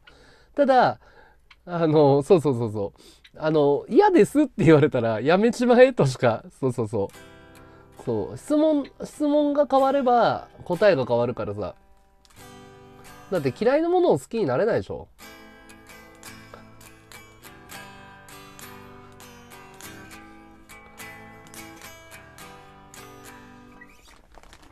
でしょ？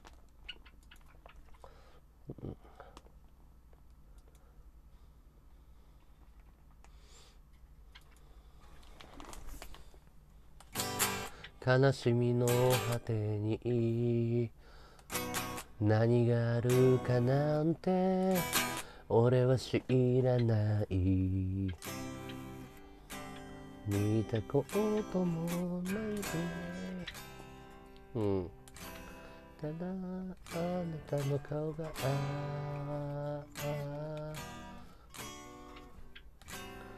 浮かんで消えるだろう。涙の後には笑いがあるはずさ。誰かが言ってた本当なんだろういつもの俺を。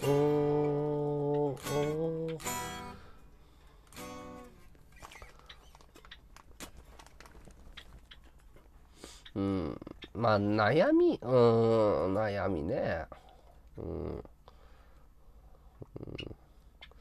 なんだろうね。よくわかんねえな。俺も人間関係苦手だからな。うん、付き合いたくない人は家族でも付き合わない。付き合いたい人だったら、全然付き合う人だからな。ちょっと、俺には向いてないかな。うん。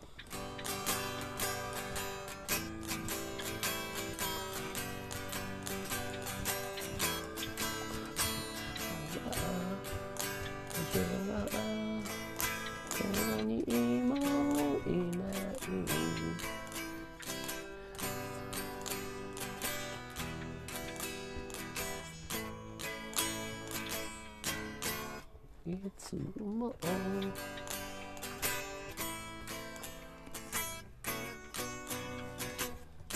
とんでもない。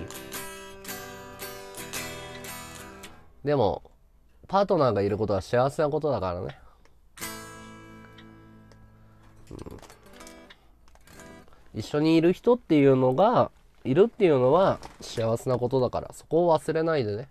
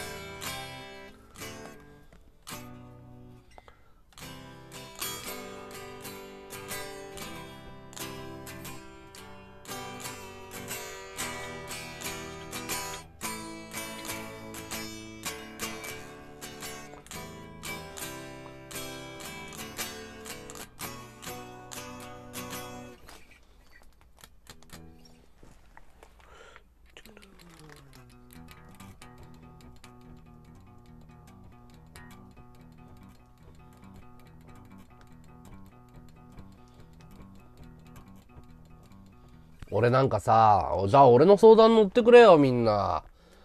俺なんかさ、コラボ配信者でさ、テレチャンピンの新居に行って皿洗ってただけで怒られたんだよ。俺なんか皿洗いしただけで怒られたんだよ。すごくない？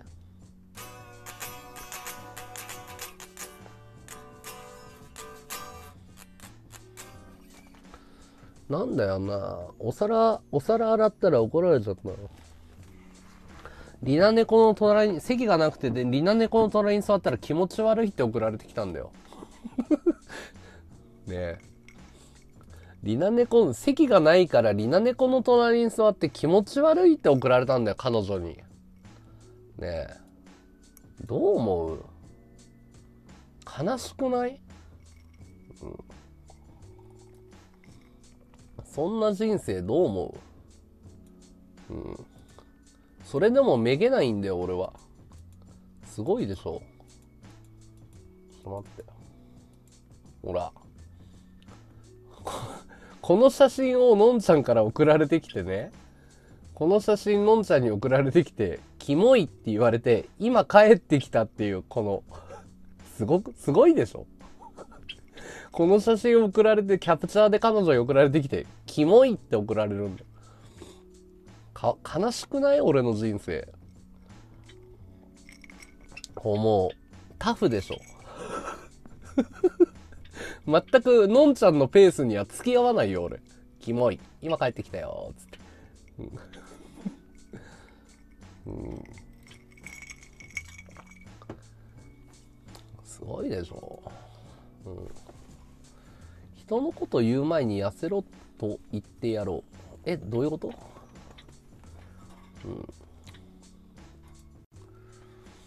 うん、悲しいよ。悲しいよ俺は、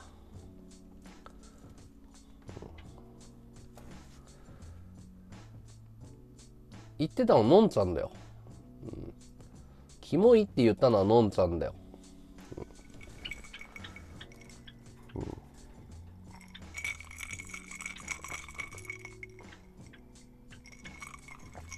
お皿洗ったら怒られる。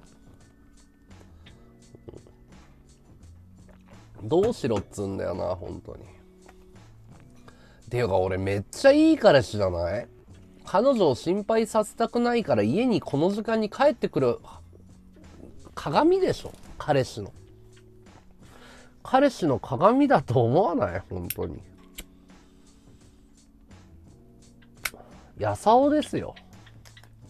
俺が何したってんだよ 俺がいつ何したってんだよ、本当に。おかしいでしょ。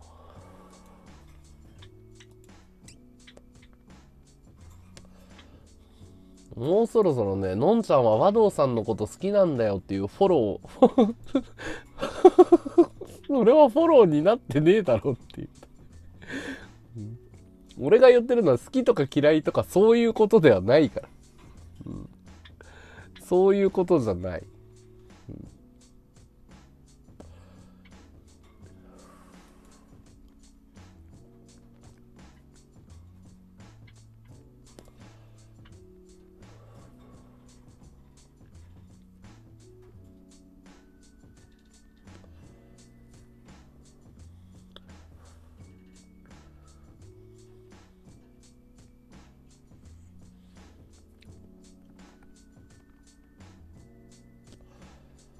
でもね、その、俺はね、そのなんか結婚をするっていうことに関して言うなら、人が、これ、賛否両論あるから本音を聞かせてほしいんだけど、特に女性リスナーさんに本音を聞きたいんだけど、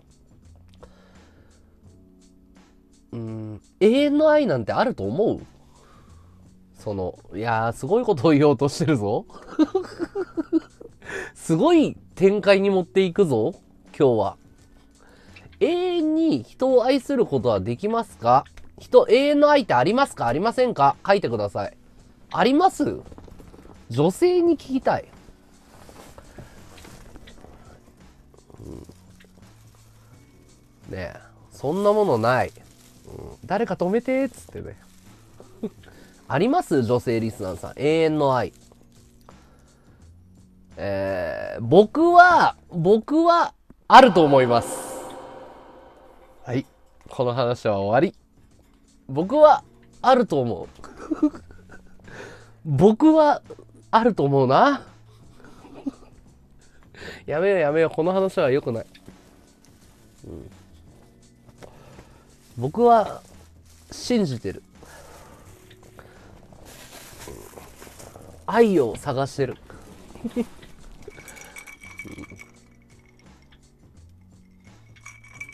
うん、僕はあると思います。皆さんは知りません。皆さんがあるかないかは知りません。うん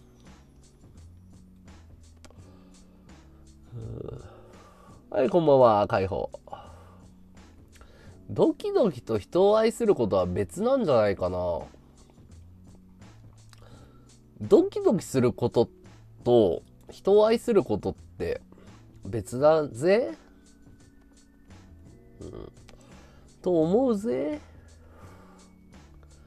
どうなんだろう。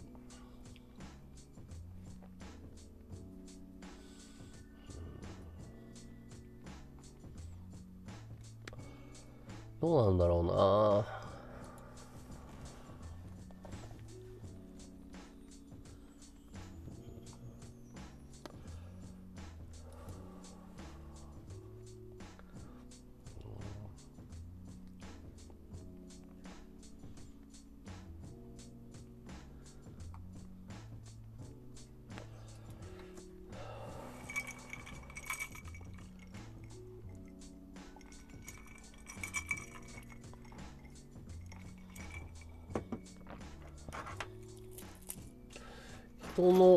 この人となら不幸にな、ああ、素敵やん 素敵だねいやいや、俺そういうことだと思うよ、段ボール。いや、そういうことだと思う。ていうか、それ言ったの俺だよね。それ2年前に言ったんじゃなかった、俺が。この人となら不幸になってもいいって思えるのが愛って、俺が言ったんでしょ、それ。それ俺だよ。それ俺だと思うわ。それは。いや、絶対俺だと思う。絶対俺だと思う、本当に。本当に俺でしょ。それは。そんな素敵なこと言うのは俺以外いる？い いないでしょ。俺だわ、それ。誰が言ったの？俺以外言えんの？そんなこと。あ、でも、俺はその考え方は賛成かな。うん。え、不幸になってもいいじゃなくて、不幸でもこの人といたいかって思えるか。いや、もらったわけじゃなくて、お、俺のもの。俺発信だから、それは。うん。俺発信。そんな素敵なセリフは俺にちょうだい、うん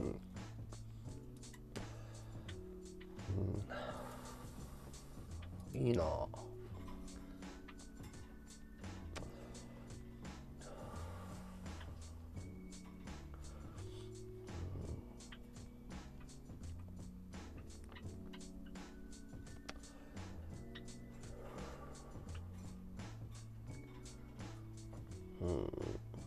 ああ。え、じゃあ皆さんそういう人います？この人と不幸になってもいいなって思える人います？片思いでもいいですよ。いる？この人とだったらどんなに不幸でも一緒にいられるっていう人います？いますか？皆さん。ああ、武田鉄矢は俺の放送のリスナーだね、じゃあ。武田鉄矢は俺のリスナーだな。多分。多分そう思う。うん素敵だね、哲也は。やべえ。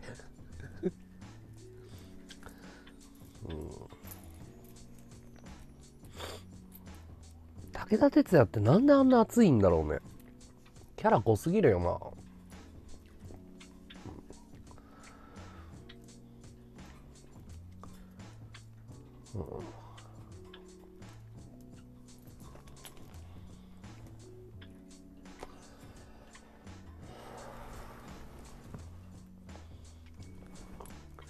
俺はあとね、遠距離恋愛は絶対に成立しないし、その、これ遠距離恋愛してる人ごめんね。俺遠距離恋愛は存在しないと思ってるの。あのね、要はね、距離じゃなくて時間問題なんですよ、これは。これね、素敵な話でいいですか？素敵な話いいですか？皆さん。しても。あのね、思った時間なんですよ。恋愛は。わかる？で、思ってる時間がずれたら終わり。だから、その、会ってない時でもその人のこと考えてる時間の問題なんですよ、これは。だから、そばにいればずっと共有してるわけでしょ。だから遠距離ってだんだん難しくなるの。他の選択肢が出てくるから。わかる？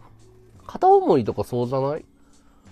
すごいギャップがあるじゃん。その人と。要は、その時間調整みたいなものがぴったし感が、要はね、あの、これも、これは中学生に、中学生の童貞くんたちに話してあげるんだけど、3秒見つめ合ったら、その人は好きだよ、多分。3秒目を合わせて、その人が目線そらさなかったら絶対その女の子君のこと好きだよ。3秒間って長いんですよ。わかる？だから、3秒間じゃなくて、ずーっと見よう。好きな人のことを。クラスメイトのあの子のことずーっと見つめて。で、3秒目が合わなかったら諦めて。うん。3秒逆に目があったら告白していいと思う。うん、え、勘違いかな？俺これね、結構あると思うよ。だから3秒以上見つめられたらこいつ惚れてるなっていう 俺の中の基準なの。で、外したことないんだよ、これ。女の子に3秒以上視線が、お前ら見てる？あれ ?3 秒以上見て、おま、もしかして。3秒以上俺のこと見てる？キモいな。いや、さすがにそれはわかるでしょ。じゃあ、目と目があったらだよ。目と目があったら。いや、あのね、キモいなーはね、3秒間凝視できないよ。段ボール冷静に考えてみて。冷静に考えて。回り込んでもいいです。え、回り込んでもっていうか、女の子に聞いて。3秒間以上見てるでしょ。好きな人のこと。で、キモい人はね、チラチラ見るの。視線外しながら見るんだよ。だからね、この理論俺合ってると思うの。うん。女の子が3秒以上見つめてる人って好きな人だと思うよ。違うかな？目見ちゃうのは癖なのむしろ好きな、あ、だから段ボールは勘違いさせる女だ。たまにいるの、こういう子。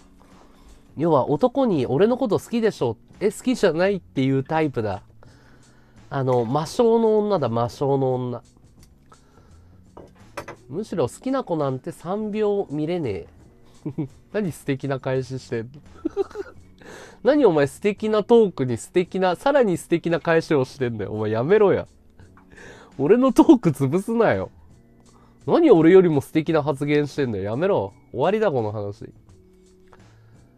チラチラを集計してんじゃない？じーっと3秒目線をそらさず。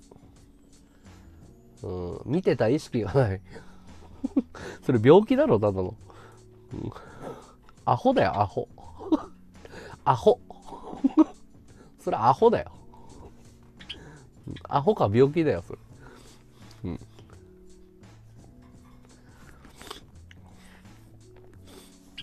3秒は貯めちゃダメでしょう。3秒って長いからね。妄想の世界行くんでしょ？妄想の世界。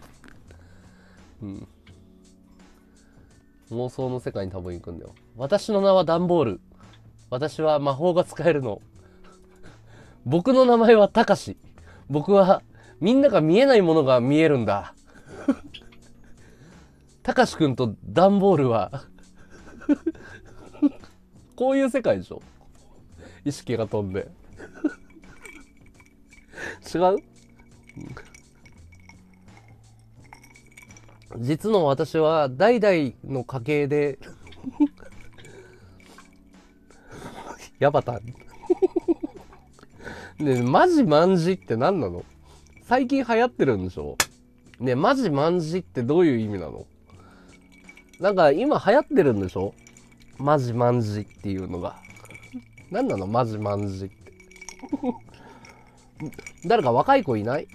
マジマンジの意味知ってる人いる？この中に。マジお寺？だ、何から流行ったの？そのマジマンジっていうの。あんまりよくわかんないんだよな。若い子が使ってんじゃないの？マジマンジって。わかんないけど。今流行ってるんじゃないの？ショベリバと同じ類じゃないの？うん。おしゃまんべじゃなくなる、うん、特に意味はないんだ。特に意味のないことを言うなよな。なんで若い子って特に意味のないことを言うんだろうね。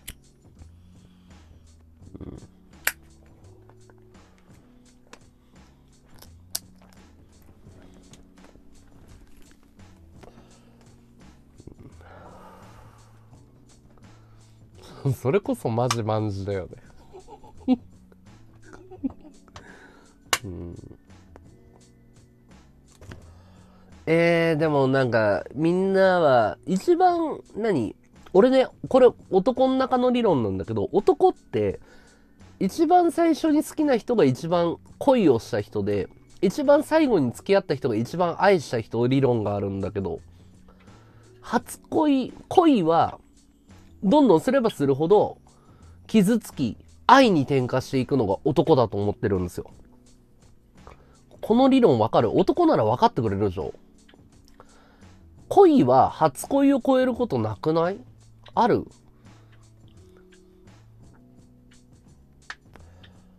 まあ、女リスナードン引きだよね、これね。俺ね、これね、全員の男に当てはまると思うんだよね。恋を、恋を踏みにじられてくればくるほど、人を愛せるようになっていくんだと思う。うんダメだ。賛同が全く得られないな。ないか。ない。初恋理論。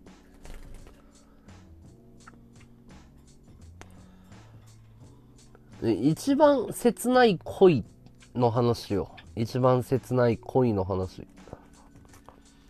わかんないかな、これ。駅で中学生が返しで、それなって言ってて笑った？え？返しで、それな？もう全然伝わってこねえわ、何言ってるか。うん、説明下手だわ。駅で中学生が返しで、それな？って言ってて笑った。どういうこと？俺には全然伝わってこないんだけど、息で中学生が返しでそれな？って言ってて笑った、初恋より初失恋のダメージを越すものはない。あー、いいな確かにな。え、だからさ、恋のダメージってさ、男って振られた時にどれだけ恋してたかわかるよね？うん。本当に。みやさん、お疲れ様です。それなは使う？だよね？とか、だよなとかじゃん。それなはわかるな。うん。それなっていうのはわかる。女の子は使うよね。それなって。うん。う、ほんと、ペロのコメントはマジマンジ。ペロのコメント、さっきのコメント、マジマンジ。今でも夢に出るのは初彼女。あマジマンジなんや、あ、俺ね、それね、カオスね、気づいたか。俺はね、気づいたんだよ。バカの方が人生楽しい。で、頭が良ければ良いほど人生苦しい。うん、これはあるでしょ。バカに生まれた方が人生は絶対楽しいんだよ。うん、俺おっさんだから。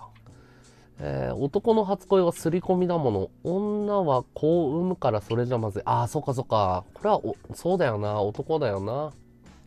まんじゅうはドキュン。謎の女いらっしゃい。メガホンありがとう。オレロン。うん。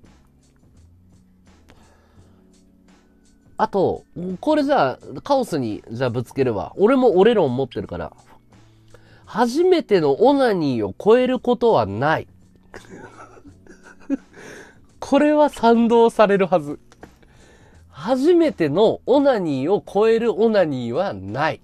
うん、あります？これオナニーね。あるんだ。意義あり、あるんだ。意義あるんだ。そっか、ごめんなさい。あるんだ。ごめん。全然賛同されない。あるある探検隊だ。あ、そう。ああ、バカは何？そう、バカは風邪ひかないんじゃなくて、風邪に気づいてないだけだよね、バカ。うん。俺はそれ賛同だな、それ。うん。うん。ああ、じゃあ俺だけ？オナニーはだよ。セックスはどんどん乗り越えていってるから。初めての外オナニーを起こすことはね、あれでしょ？サボテンに射精したやつでしょ？タカさんはコツ。相手もありがとう。ハートありがとう。うん。サボテンに射精した男だからな。マジ、気違いでしょ、本当に。砂漠でサボテンにオナニーしたって。なん、なんなの、その発想は。なんか変なサボテン食べたの？うん。あるんだ。あれほどのオナニーは今までにない。すっごい壮大なところだったんだろうね。なんかもう開けてるところなんだろうね。うん、え、みんな青缶ってしたこと、あ、でもね、東京の子は青缶ないよな。青缶ってある？俺ね、東京は青缶無理だと思う。と東京の子は無理。あの、無理。うん。人工衛星しか俺を見れない。人工衛星ってすごいよな、うん。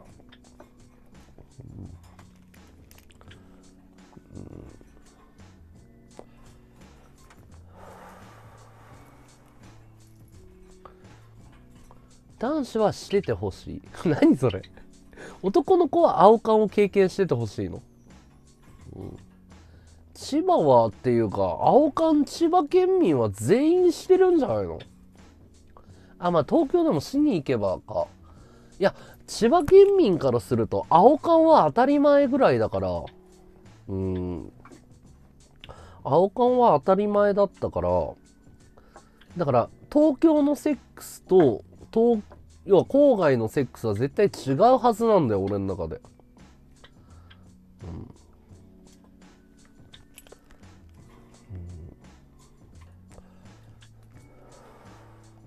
無理すれば可能っていうか、それはだから無理すればでしょ。だから無理なんだよ。いやでも、ちょっと東京で青缶はないな。いや東京で青缶なんて無理だよ。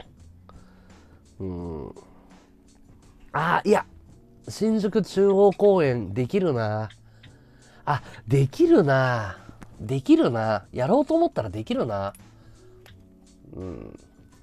アイテムありがとう謎の女さん。できるな要は俺がその感性、子供の頃の心を失ってるんだな、多分な。うん超早漏、いやだから、超早漏とかじゃなくて、その、なんだろう。うん、な B だよね。今の子って A とか B とか C って言うのかな？俺久々に20年ぶりぐらいに B って言ったよ 懐かしくない？今の子って ABC って言うのかな ?B。マジックミラー号だろうね。でもなんか人、懐かしいね。今ないよね。多分 A、B、C ないよね。ああ、そっかそっか。カメラマンが張り込んでんのか。B はだからペッティングですよ。ペッティングも言わないでしょ、今。多分段ボールにペッティングが通じないと思うよ。今言わないよね。A、B、C って多分。で、B って何？ペッティングって言っても、ペッティングがわかんないよね、多分ね。うん。そいね、っつって。失われた言語だよ。ペッティングってなんだよだよ。ペッティングわかる人手挙げ。これで多分年齢大体わかるよ。ペッティングわかるよね、みんな。B はペッティングだよね。そう、B したとか。どこまでした ?B。いや、A だよ。いや、C だよ。っていう駆け引き。ほら、みんなわかるじゃん。だから段ボールは世代的にわかんねえんだよ。みんなわかるじゃん。ほら。32、俺32でためだもん。だから中は A。中は A。中は A です。中は A です。で、B はペッティングです。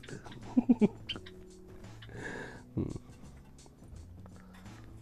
うん、分からないの？え、モカいくつ？年齢若いのモカ。あ、32。だから大輔さんと俺がためだから。あ、B ダッシュとかね。夏いよね。言わないんだ、今の子。ペッティング、だから、オーラルセックスだよ。オーラルセックスだよ、今で言う。27じゃわかんないよ。多分段ボール同い年ぐらいだよ。うん、だから、要は昭和で消えた言葉なんだよ、多分。平成生まれはわからない言葉なんだ、これ。うん。俺らの頃あったもん、A, B, C って。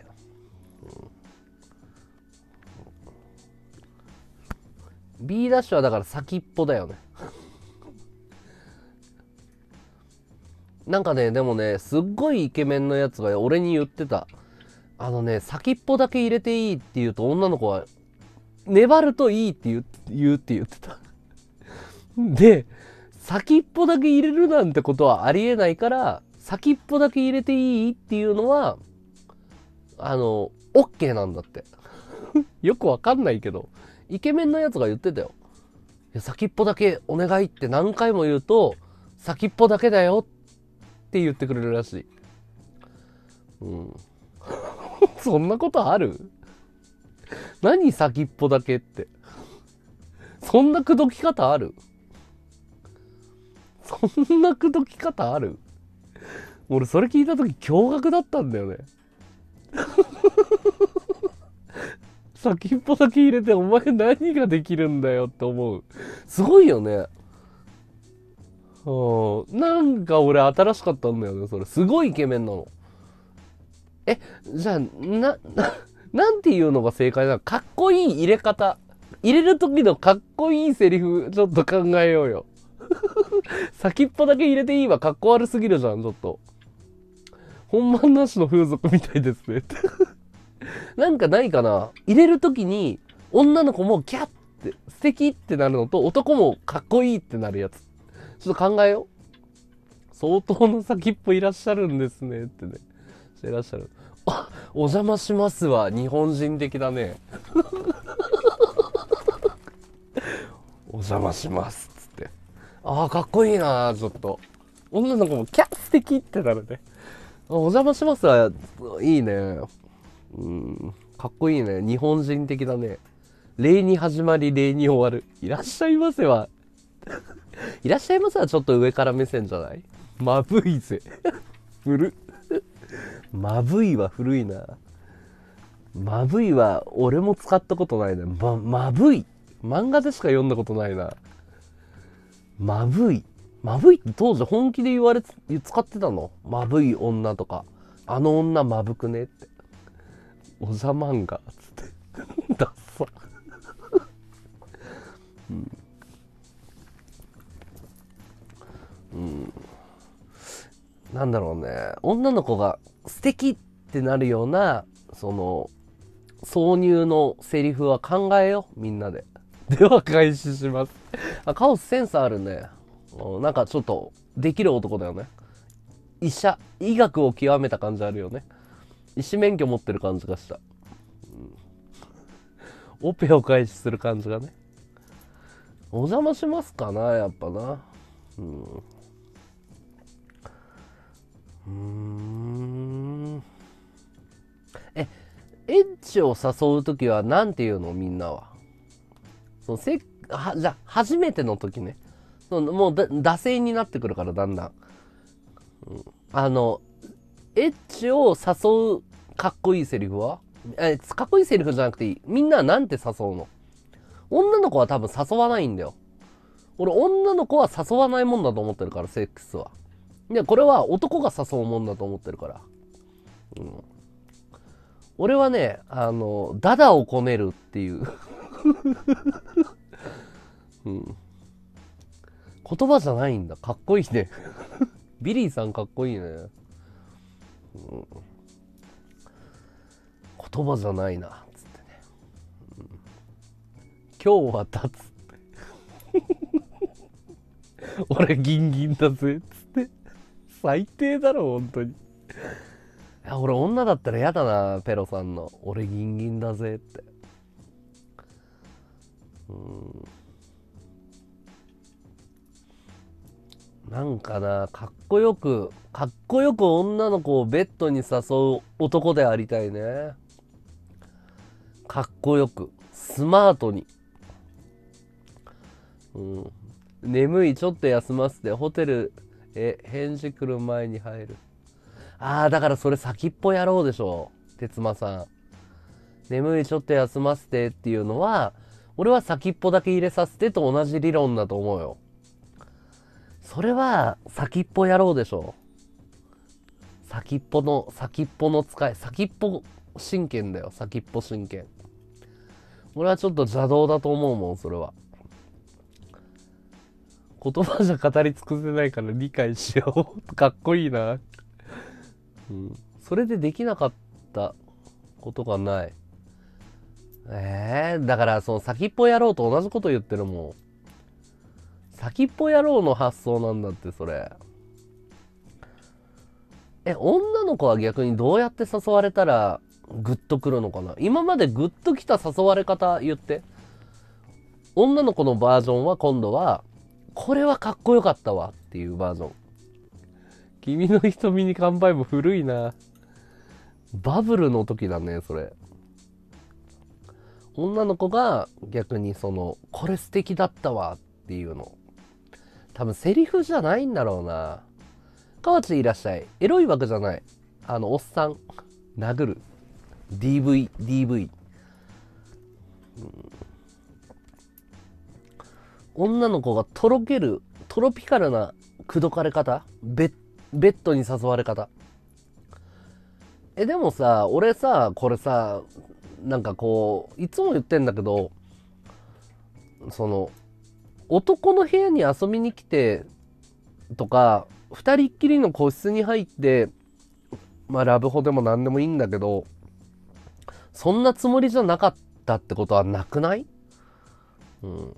後ろからハグされて耳ハムハム。ああ。会長したいっても。俺はもうはっきり言うから。セックスがしたいって言うから。お俺すごいストレートでしょ。うん、俺すっごい、俺すっごい、君とセックスがしたいってはっきり言うよ。逆にこれが普通だと思ってるんだけど違うの？違うの俺はこれしか知らない。俺は君とセックスがしたいっていう。それ以外あるの？なんかパターンは。これ以外のパターン知らないんだよな。ダメ？これ何点？俺は君とセックスがしたいは何点なの、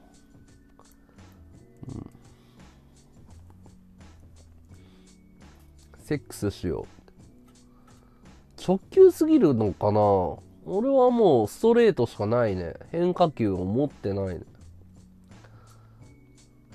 セックスよりエッチがいい。俺はセックス派だね。駆け引きを楽しみたいっていうのある。いや、俺普通に言うね。あの、飲んでる時とかこのトーンで、いや、誰々とセックスしたいわって。普通に言える。エッチの方がいいの。俺はさらっと言うよ。ところで、ところで、その件は置いておいて、君とセックスがしたいねって普通に言う。ダメ？ダメ？エッチの方がいいの可愛いのうん。わかんない。なんだろうね、エッチ。エッチ。セックスを経て。あ、見た段ボール。そうだよ。段ボール見た？経て。どうだった？そうだよ。段ボールに感想聞こう。その段ボールに、経ての感想聞こう。経て。あ、エッチって言うんだ。俺、セックスって言うね。どうだった？どうだった？松本人志のコントを初めて見て。どうだったの？若い子に響いたの松本人志のエッチの方が好きなんだ。何それじゃあダメなんだ。点数低いんだ。俺セセックスってはっきり言いたいね。セックスダメなんだ。経ては残念ながら面白さがいまいち。えー、マジか。キャラクターがわからないのを楽しむのが面白いんだけど。ダメか。若い子はダメか。松本人志。あー、そうか。残念だな。あれがわかんなかったら全部わかんないと思う。もうあの世界観だから。ダメか。あ残念だな。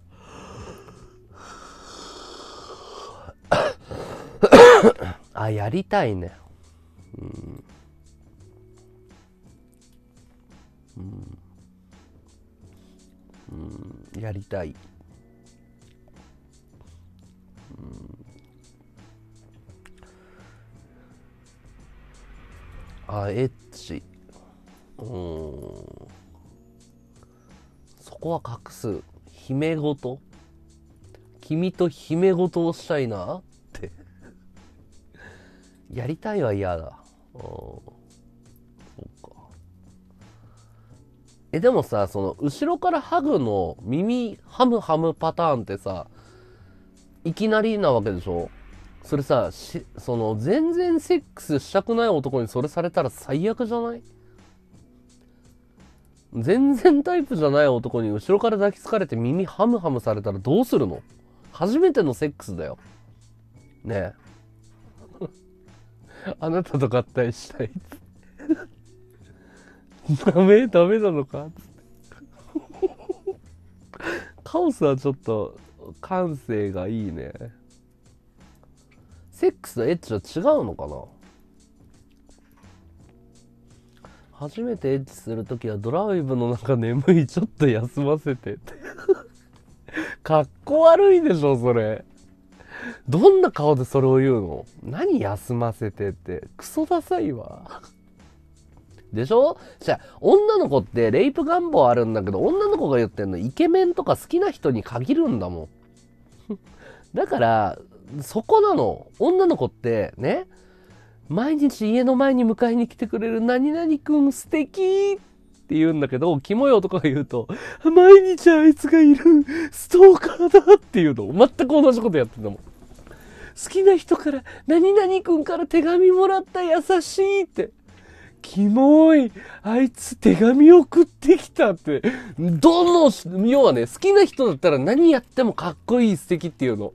全く同じことをブサイクがやるとキモいっていうのが女だっていう。あのね、女ほんとデリカシーないよ。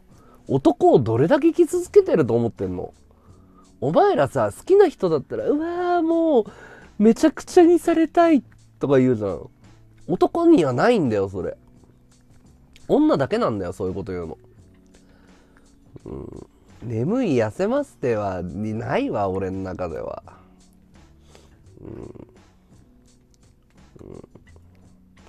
あとね、ちょっとね、車の免許持ってないから、ドライブの話はやめてください。僕、運転できないんで。うん、ああだからモテる男はだから先っぽだけ入れるんだよ。そんなつもりはなかった。言い訳を作ってあげるの。何それ。なんでちょっと 鍋奉行セックス奉行みたいなやつ出てきたんだけど大丈夫？大丈夫本当に鉄馬、うん、の前のさいらっしゃい。やりたいのに眠いっていう言い訳が伝わりすぎて笑う。あー。だイケメンなんでしょ。車に乗った時点で勝率が30%だから車ないからな。うん。車を持ってないからな。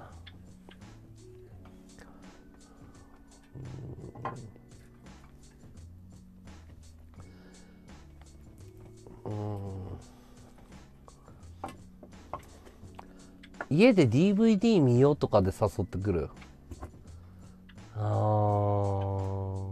だから結局顔のいいやつとかはモテるかっこいいやつは何やっても勝率が高い理論じゃんそれって。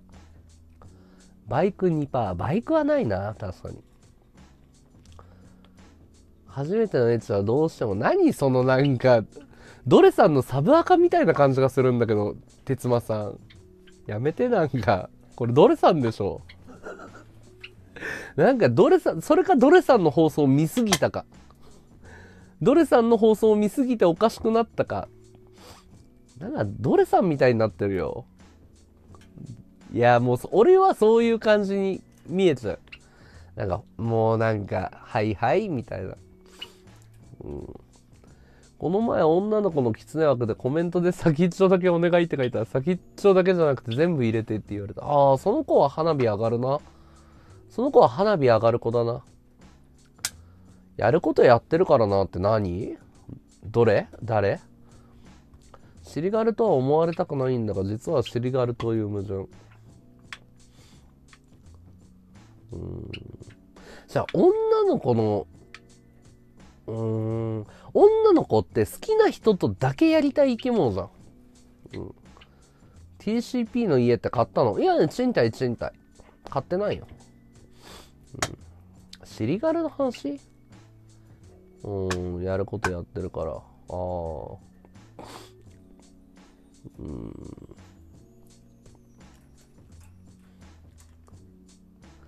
いや最高に素敵なセックスを完成させたいの俺は。女の子が「キャ素敵和道さん」ってならない。だからのんちゃんもうだからのんちゃんとはもう1年経ってじゃあ1年経ったけどのんちゃんをとろとろけさせる何かをお考えよう、ん、でもさそれってうん。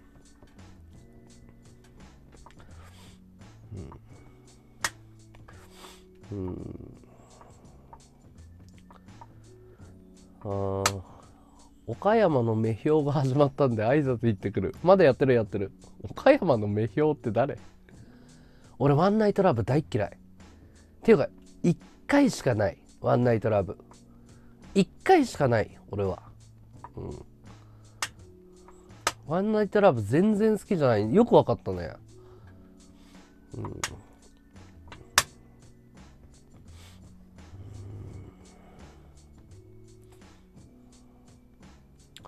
岡山の目標。すごい配信者だな。岡山の目標。誰？うん。あ溶かす液体いやあの俺はとろけるとか溶けるとかが一番そのセックスの中の感覚で最上位概念がそこにあると思ってるよ。最上位概念というかうん。とろけるとろけるセックス。とろけるセックスを常に心がけてここまでやってきたから、うん、とろけさせたい。とろけさせ続けたい。俺は。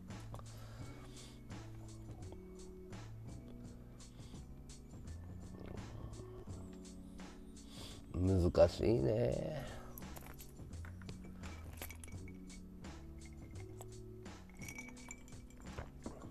所詮快楽だと思わ好きな人とセックスした方が気持ちいいじゃん。いやだからね俺ね女性的なの。セックスが。ちょっと。あのねだからあのね男メス行きの和道って呼んで今度から。俺のことをメス行きの和道って呼んでくれ。うん。あのね結局ね男性的なセックスには限界を感じたの俺。10代の時に。だから俺はメス行きだから。うん。女がとろけるために開発は必要。ああまあそうだね。うん。うん。中行きの和道つって。決めセクとかやったことないんだがどうなんかな。いやそれはもうカオス先生に聞いてください。決めセクどころか決めたことがないから。ドラッグに頼ってセックスしたいとは思ったことないかな。うん。セックス自体がドラッグだからね。俺とセックスすることがドラッグだから、うん、超かっこいい和道俺のセックスはドラッグ。これなんかかっこいいね俺のセックスはドラッグラップのリリックみたいだもんねパンチラインでしょうんうん前儀を1時間できないやつはセックスする資格ないと思ってるぐらいだからね。うん。宗教的には罪なんだよ。どうなんだろうね、セックスってね。罪なのかな？のんちゃんはどうなんだろうね。いや、のんちゃんはなんか、俺のセックスの評判を落とそう落とそうとするから、正直に話せって言いたいよね。いや、多分、恥ずかしいとかじゃなくて、俺がセックスを下手なことにすることによって浮気をさせないみたいな、そういう、いや、マグロとか、俺はマグロじゃないよ。ほんと、飛び魚だから。飛び魚。だから、のんちゃんのネガティブキャンペーンなんだと思うの。浮気をさせないための。本当のことを話してしまうと、こう、ね女性が寄ってくるからっていう、のんちゃんの俺は計らいだと思うの。俺は。いや、のりこ、真実を話せと。男でマグロ。飛び魚だよ、俺は。うん、メス行きで飛び魚だよ。何なんだろうね。うん。何なんだろう。セックス下手なのかな？逆に。逆に下手なのかな？うん。うん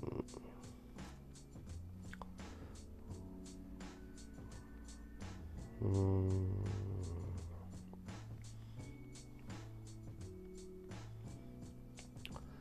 頭がおかしくなるっつって。ソープ経験少ないから行った時マグロになってる。俺ソープなんて行ったことないよ。えソープって行ったことあります？みんな。俺ソープって一回も行ったことない。ソープに行く意味がわからない。うん、まあね、相性も。俺、ソープ一回も行ったことないよ。え、なに、ソープって本番をするんでしょ？ない。ないです。うん。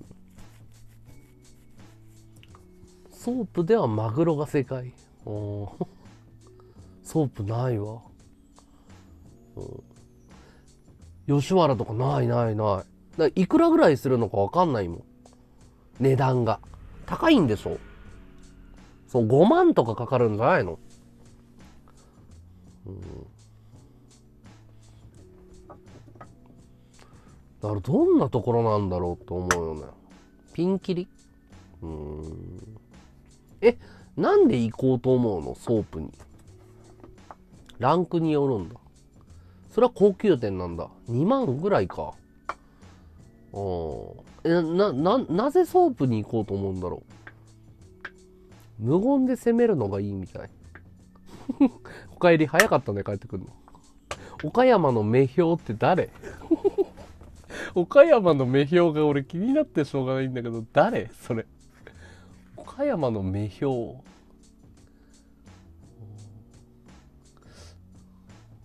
過疎生主かな？いないな。抜くため？俺は元ああ恋愛を断ち切るための儀式なのか。なるほど。それはちょっと理解できるかもなんか。やさぐれて要は中学生が親と喧嘩してタバコ吸おうみたいなことでしょ。俺はだから抜くたあでもね抜くためにお金を払うのが不思議はね女の感覚だよだから。だから好きな人とはセックスしたいしたいだけどうん。だからその要はオナニーは別になくてもいいんでしょ女性は。多分、うん、俺もオナニー派ですね。ジョーとの交流もおつなものなんだ。えー、なあ自分で抜けるのになぜっていう、まあ、高いお金を払ってね。うん。なるほどねうん確かにぬくもりが欲しいんでしょたまには知らない女性も抱きたい。うん、ああ。人肌恋しくなる時がある。うん。女体ほどいいものってないもんね。女体が欲しいよね、だから。本気で。完璧な女体を欲しい。理想の女体を。金賞のピンサロなんてスロット勝った時は必ず行く。おー。いや、俺はわかんないから。いつもお米だけどたまにラーメン食べるみたいな違うでしょ？なんか、その、なんだろうね。何が一番近い例えなんだろう。女の人がわかる。食べ物で考えるか。なんだろう。おはようございます。裸で抱き合ってる。なんだろうね。成り行き無言で中から攻めてこい。ああ、その岡山の目標は。あ、でもそれは素敵だね。あの、言葉がいらないアプローチは素敵系だね。素敵だね。うん。直樹兄さんと、はい、やらせていただきます。うん。うん。俺だからのんちゃんにね、聞いたのこの前。なんでおっぱいがついてるのにおっぱい揉まないのって。だって女の子はおっぱいを持ってるわけですよ。俺自分のおっぱいずっと揉んでる自信あります？何なの？本当に。だって頭くるよ。おじさんは。おっぱいをずっと揉みたい。俺は。自分におっぱいがあったらねずるいよ ずるい、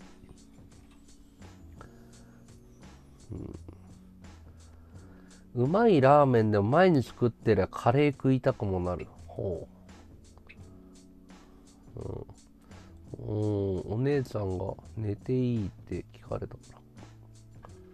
おっぱい成人ではないけどうん、この辺におっぱいついてたらもうこうずーっとこうしてるのね。雑談しながらね。ここの辺におっぱい欲しいよね。ずっとこうやって雑談したいね。うん。他人のあ女の子で女の子のおっぱい揉む人いるよね。うん、うん、うん、胸は感じない子は何をやっても感じないからね。ああうん、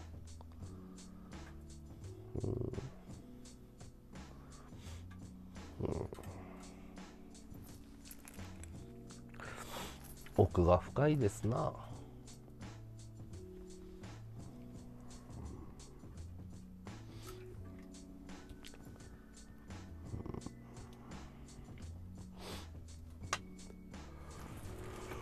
うん。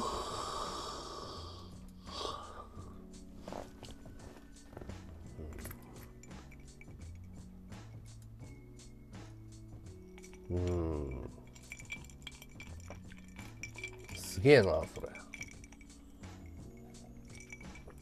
女の子は女体を見てエロいって思うのかっていうのも気になる。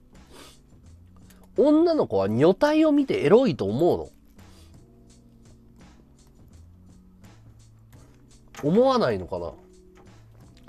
もしくは自分の裸見てエロって思わないの？これは聞きたいよね。自分の体を見てエロいなーって思わないの？私エローみたいな。そういうのないのかな？うん。くびれくびれっつうか曲線だよね。うん。女の子は銭湯行ったら胸に目がいくんだ。思わないんだ。私の体エローみたいになんないんだ。自撮りの人はなる人だろうね多分ね、うん、あれはそういうことでしょ多分。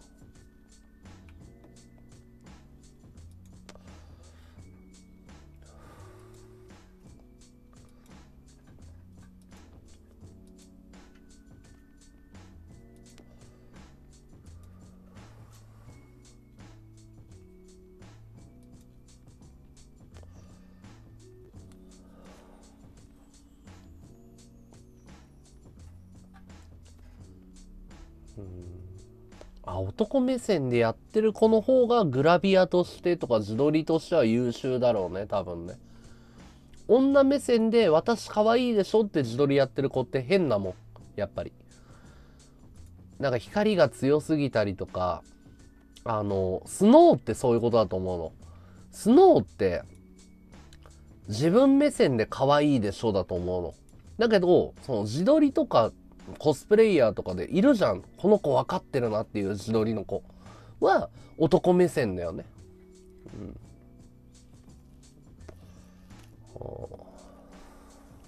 そういうことでしょ。う。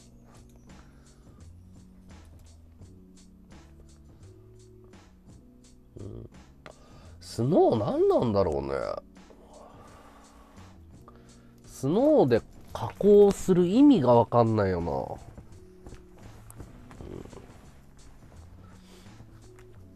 いや、グラビアは抜き目的でしょ。完全に。うん。でも今さ、別にネットでさ、女の裸なんか腐るほど見えるわけだから、なんかその、女体に対するさ、その、憧れみたいなものないでしょ多分。若い子で。多分その、性が変わってる気がすんの。なんかその俺らの時代だと中学生とか高校生ぐらいに道端でふと出会うものじゃん。雨の日のその茂みの中でびっちゃびちゃの本と出会うわけじゃん。わかる？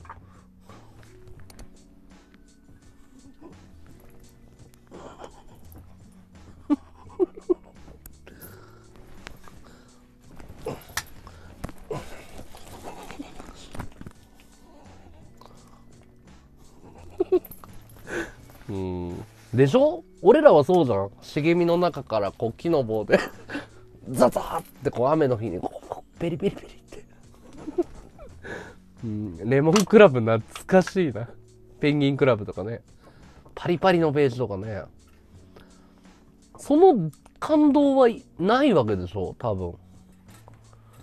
それってなんか切ないよな。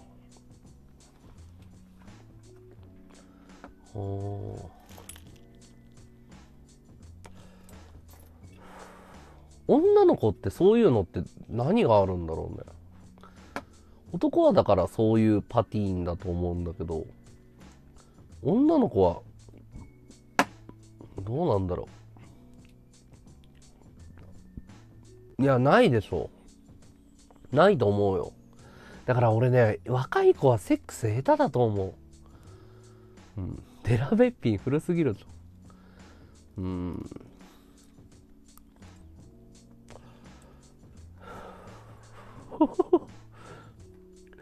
なんか AV のモザイクを消す高い機械とか売ってたもんね 友達がなんか、ジャンプの裏とか雑誌の裏にあるようなさ、12万とかするようなさ、こんなの買ってきて すごいのを俺は手に入れたっつって。あれだよ、もう、製品、な、I、iPod の製品発表会みたいになってんだよ。買ったぞと。で、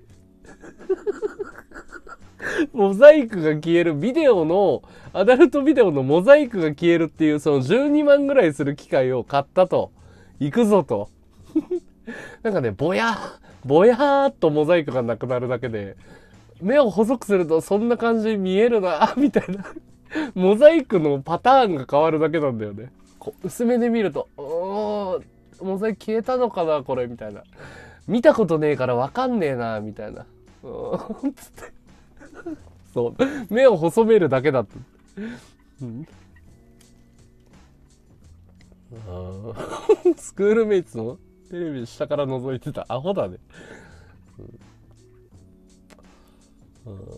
切ないで済む問題ないよね。なんか、そのエネルギーそのものだよね、なんかね。エナジーとかそういうものだよね、多分ね。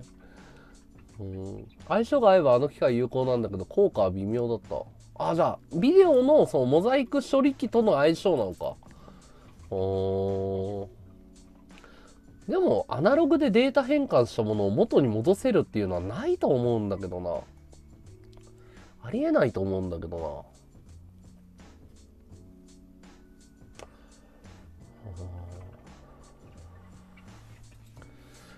まあ、女の子がね、全然わかんない会話だよね、多分ね、これ。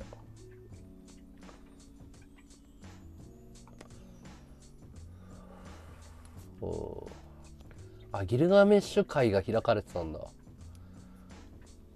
いや、俺それ知らないわ。青と。俺はその青と青のメガネは恐竜の、なんだっけ、やつだったね。デアゴスティーニだったね。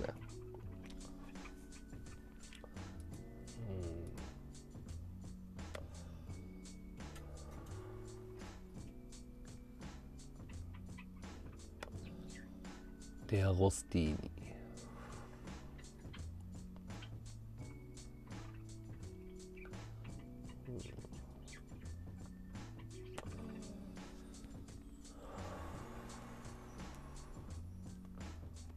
えー、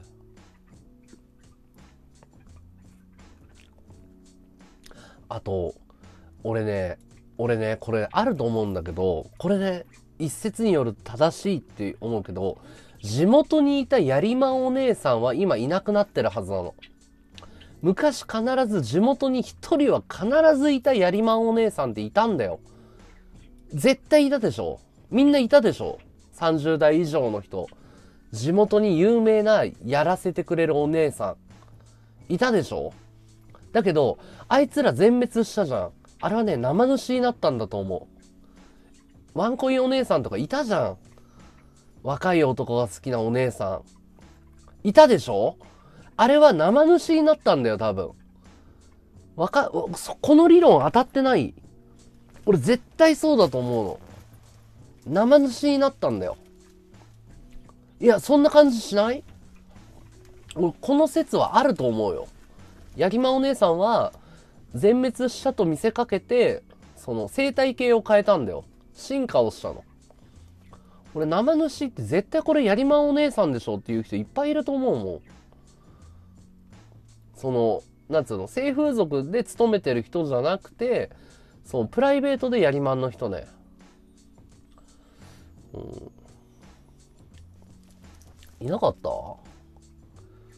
いや、だからもうネットが変えちゃったんだよ、生態系を。いや、だから、生主ってそうじゃない？色気を売りにしてる女の子。だから昔、昔、インターネットがなかったらやりまお姉さんだったんでしょう、多分。で、不思議なのがさ、やりまお姉さんってちょっと綺麗なんだよな。そうでしょ。みんなの地元にいたやりまお姉さんもちょっと綺麗だったでしょ。メタルモルフォーズだよ。それあるでしょやりまお姉さんってブスじゃないの。ちょっと綺麗なの。でしょ？合ってるでしょ？合ってるでしょ？ちょっと聞きたいな。ちょい綺麗だよね。そう。でしょ？何なんだろう、あれ。やりまお姉さんはちょっと綺麗なんだよ。何なんだろう、これ。わかるでしょ？わかるでしょ？だから生主ってもう全部当てはまるんだよ。そう。ちょっと綺麗な、すぐやらせてくれるお姉さん。生主。うん。絶対あるよな。今もういないんだろう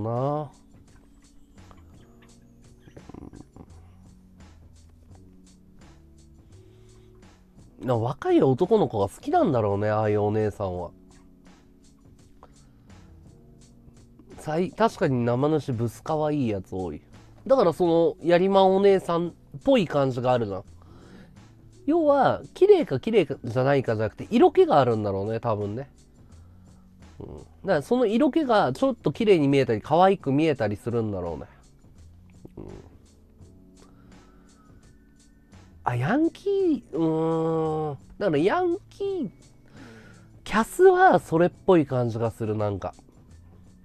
キャスはヤンキー文化で、ニコ生はオタクっぽい感じがする。だから、その、なんか、ちょっとイケてるとか、ちょっとかっこいい感じじゃない？オラオラしてるっていうか、売れる人って。ちょっとわかる？ヤンキー、昔で言うところのヤンキーがキャスやってる感じ。で、オタク系はニコ生に残ったって感じがする。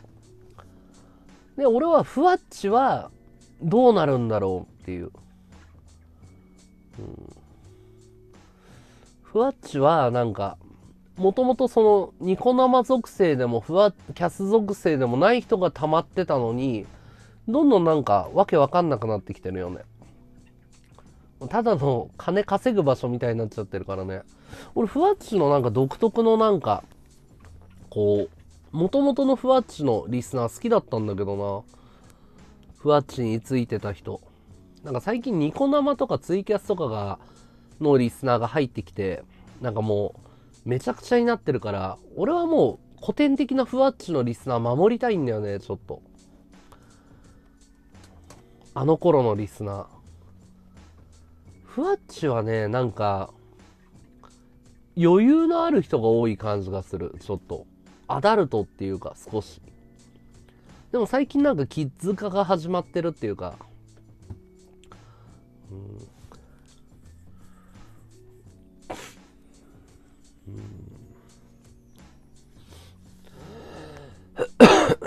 ちょっと幼くなってる気がすんな。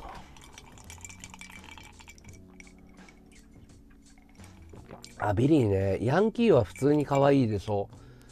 あのね、いっつも俺らの好きな女はヤンキーに持ってかれてたでしょ。これあると思うんだよ。可愛い女はヤンキーなんじゃないのいい女はヤンキーが好きだからヤンキーになっちゃうんだよ。みんな、だから、だから俺 EXILE理論って呼んでんの、それを。わかる？これ。要は結局、いい女は EXILEなんだよ。うん、はい、おかえり。いい女は EXILEなの。結局。わかんないこれ。結局ヤンキーがモテてなかった？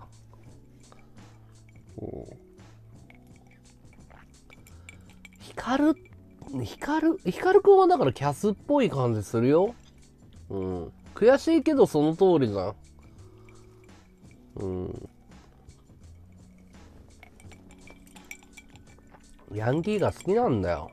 女は。だから俺らってどちらかっていうと文化系じゃん。なんか変な言い方だけど文化系が俺のリスナーしっくりくるんだよ。文化系じゃない？俺ら。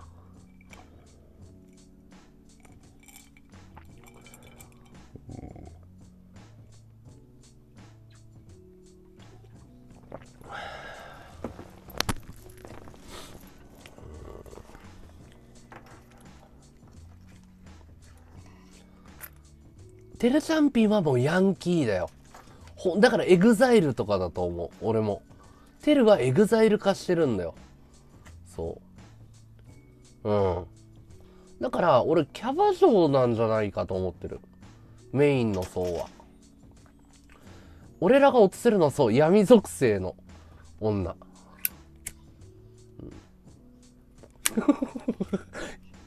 俺らは闇属性にめちゃめちゃ強い、そう。通称メンヘラね。そう、闇属性に俺ら強いんだよ。なんで俺ら闇属性に強いんだろうな。光属性は全部エグザイル、エグザイルだからね。ヤンキー無理でしょ。だからダンボールは闇属性なんだよ。うん、パイセンはエグザイルを意識してるけど、そっち系じゃなかったパティーンだよね。わかる。うん。闇属性に俺らは強いと思う。うん。要は、どういう女かっていうと、私は普通じゃないっていうタイプの女ね。普通という、普通と言われてる女子性を否定する女たちだよ。うん。あやちゃんいらっしゃい。初見さんいらっしゃい。わかる？うん。私は、ちょっとそういうのはっていうタイプの女属性ですよ。うん。金映えさん無理してコラボしてんのかな？どうなんだろうな。うん。闇属性だと思うんだけどな、ダンボールは。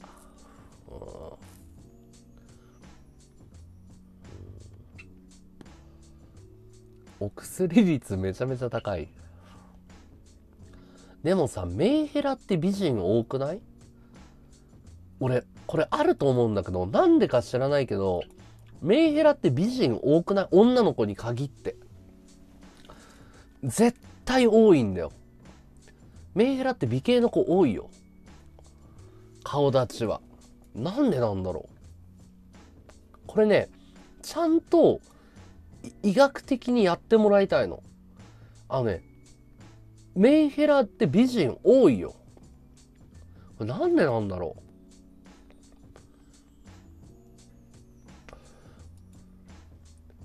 ちやほやされて人生おかしくなるのか？ちやほやされてたけど、25を過ぎたあたりから あの、ダメになるのかな？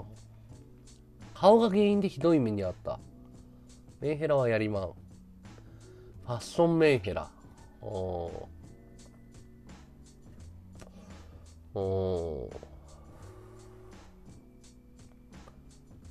あ、エロい女も多い気がする。わかる気がする。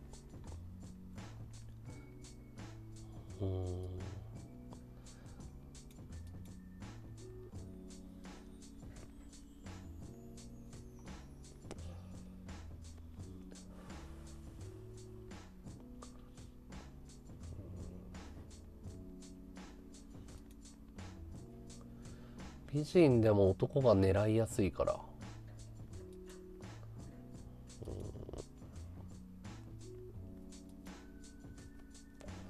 メンヘラって言ってる私可愛い。うん。あね、ちゃうんだよ。心療内科に行くと美人多いんだよ。もう不思議と。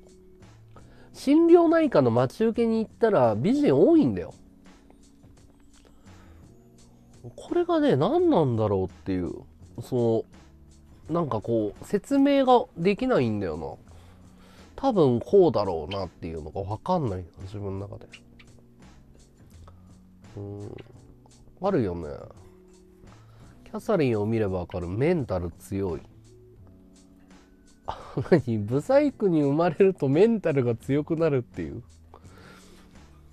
友達に鋼のメンタルしてるって言われる？うん。うん。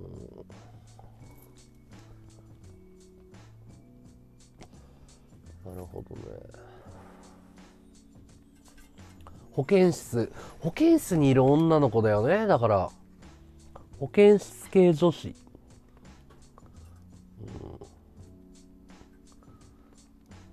うん。うん。な綾波レイって保健室にいる少女がモデルだよね多分ね、うん、オタクの男の子がいいなって思う保健室に行っちゃう美人の女の子がモデルだよね綾波レイって。ダンボールはおっさんだよね。俺だってあれだもん。実際リアとするまでおっさんだと思ってたもん。本当に。顔が綺麗な女はメンタル弱い。何なんだろうね。うん。ああねーっつって。うん。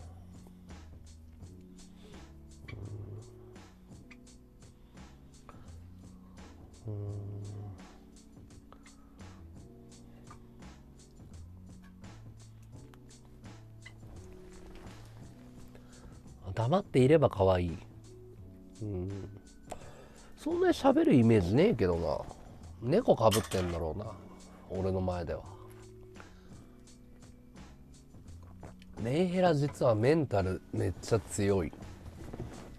いや俺は数々のメンタルを見てきたけどもう 豆腐だよ本当に。もうよく今まで生きてきたなっていうメンタルだよ。メンヘラメンタル。本物のメンヘラをでファッションメンヘラでしょそれ。俺はだからガチのメンヘラと毎日向き合ってるからすごいよ、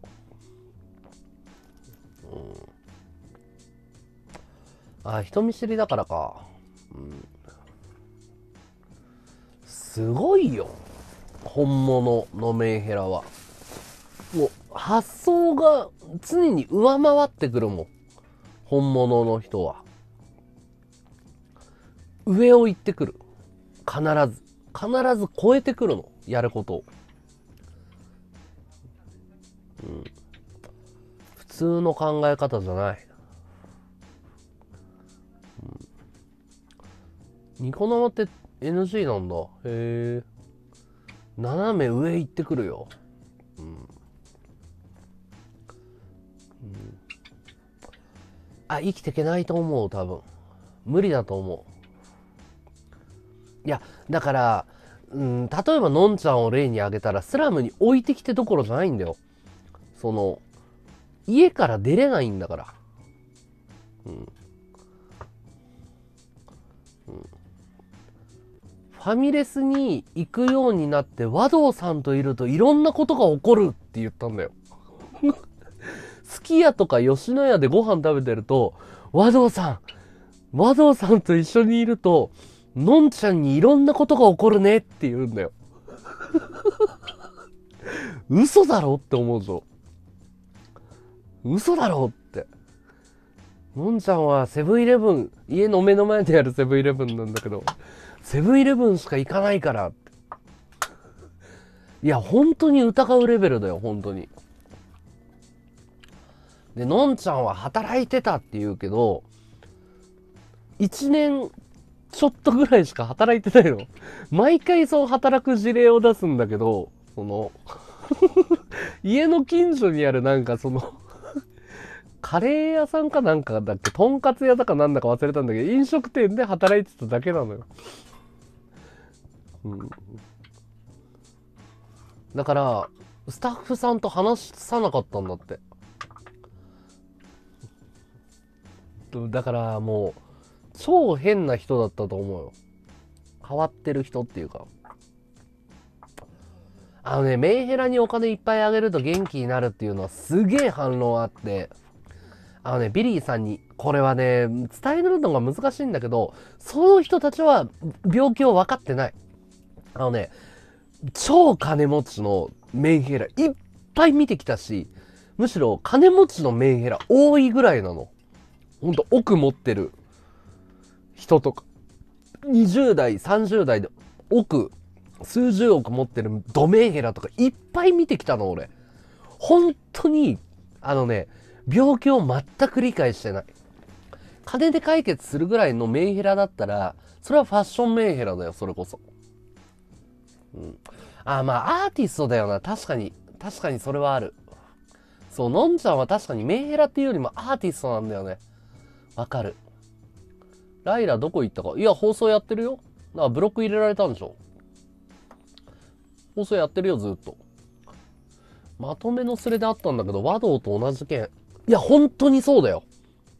あのね、言えるんだったらもういっぱいいる。ただ、ほら、個人的な資産の話とかって、プライベートの話でしょ。だから言えないのよ、こういうことって。ただ、俺は、俺が言うんだから間違いない。そこは信じて。そいつらは想像で言ってんの。こいつら金持ったら結局治るんでしょって思ってる人が多いってだけ。それはメンヘラを根本的に理解してないの。そう、金で解決するのは軽い鬱とかだよ。要は、金が原因で鬱になってるパターン、貧乏で。むしろ、金でこじらすメンヘラの方が多いよ。うん。間違いない。これ断言できる。むしろ、お金持ちでメンヘラの人の方が重度。根本的な問題だから。その、要はね、お金で治るって言ってるのはね、軽いうつ状態の人だよ。ただ単に。うん。そう。あのね、貧乏暇なしなんだよ。そう。カオスの言う通り。お金がない貧困層じゃひら減らってる暇ないがタフなんだよ。だから、もうそれはね、ただの、あれは病気を理解してない人たちが病人を揶揄してるだけ。俺はほら、と、もう何人もリスナーと対応してきたから分かるのよ。うん、こじらせてるよ。うん、むしろ貧乏の方が働かないと食えないんだもん。うん、先進国病だよね。うん、俺もそう思う。あと、その精神薬はももっとやばいっていうのをちょっと、あの、広めた方がいいと思う。恋愛でこじらす鬱は正常、むしろ。恋愛でこじらす鬱は正常、メンヘラではない。ただの失恋、それは。それはね、うつとは違う。あのね、うつ病とうつ状態を全く理解してなくて、あの、ほら、俺、うつ持ってるでしょ。あのね、えっ、ー、と、どういう状況かっていうと、部屋の足音が怖くなるの。これはうつの人分かるって言ってくれる。うつリスナー多分いるから潜ってて。多分ね、これを言って、うんうん、うんうんって言ってるはず。ピンポンとか怖いの。ピンポンとか足音とか人の気配とか怖くて怖くてしょうがない。だから寝てるだけだよ。寝てるだけで目の前歩く足音で怖いの。意味がわかんないでしょ。これがもう本当のうつなの。それだけで心臓ドクドクなって、もう動けなくなっちゃうの。わかるでしょ？だから、うつ状態っていうのは落ち込んでる状態のことを言うのよ。これはうつ病でも何でもないの。本当のうつって動けなくなるから。本当に。そう。だからね、その、へこんでる状態とかだと思ってるんだよ。もう明らかに病気だから。うん。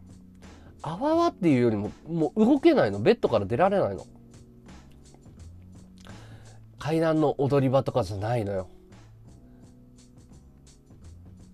違うんだよ、それは。カオス。違うんだよ。うん、満喫生活でそうなってたから。足音ずっと聞こえるでしょ。ピンポン怖い。うんこれはね、だからね、難しいんだよ。そう、わかんない人にはわかんないんだよ。いや、違う、違う違う。それはさ、階段の踊り場で慣れましたよって。打つじゃないじゃん、カオスは。要は、本当のうつ状態になったら怖いんだって。そう。うん。うーん、ちょっとないや、それはね、多分、その足音で寝れるか寝れないかって話なんだよ。そ、そこじゃないの。そういう怖さじゃないの。もう感覚が研ぎ澄まされてて怖いの、とにかく。その、音が怖いって話じゃないんだよ。なんて言えばいいんだろう。これはね、もうなってみないとわかんないよ。激鬱だった？あそうそうそうそう。ねえちょっと難しいんだよな。激鬱だった？ん？激なんて読むんだろう。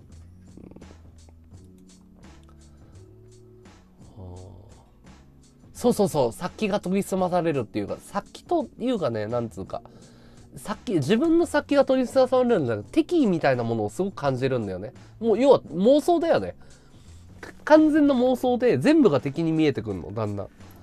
要は、なんか被害妄想が強くなってくんだよね。どんどんどんどん。その、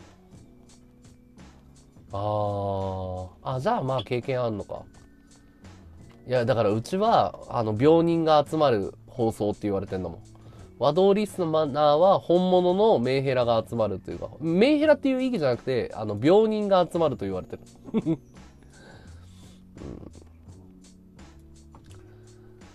いやーな、なんともだから金でね、解決するぐらいだったら、うん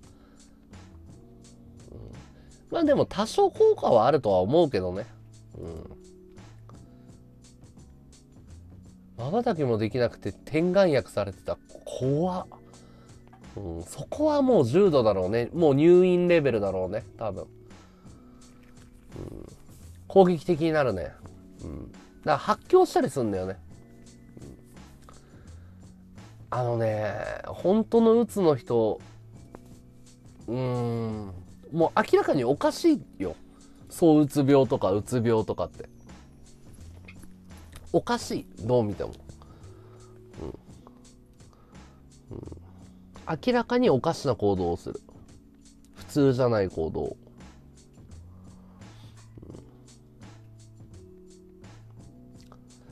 うん、うんエヴァンゲリオンのシンジ君は結構それをうまく描写してるなって、あれも完全にうつ病だからね。あれはね、すごくうまい表現をしてるなと思うよ。うん。初見、うつなんですか？悪いですか？悪くないよ。大丈夫だよ。うん。いい試合行きたいし、ああ、また遊びに来てください。もしよかったらフォローしてってください。ありがとうございます。今後ともよろしくお願いします。うーん。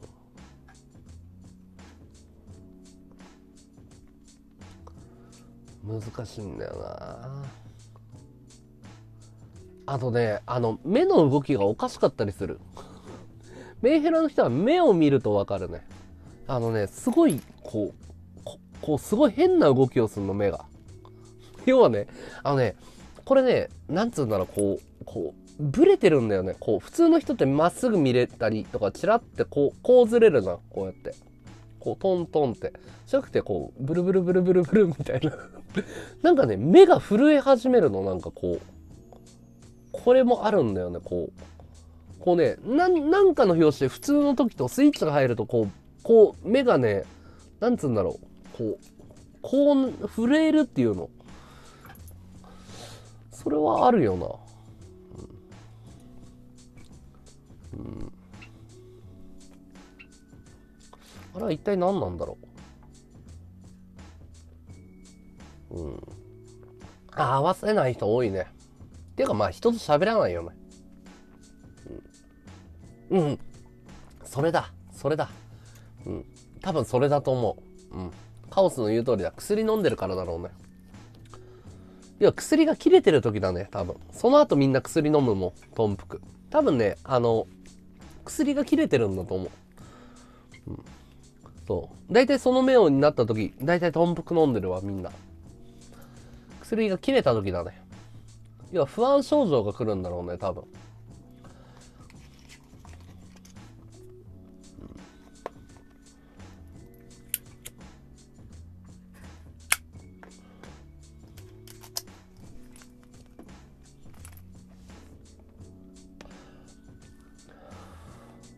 まあ、だから全ての病気が、うつとかが金で解決できるとは思わないけど、金で解決する人もいると思うけど、彼らはメンヘラを理解してないだね、結論。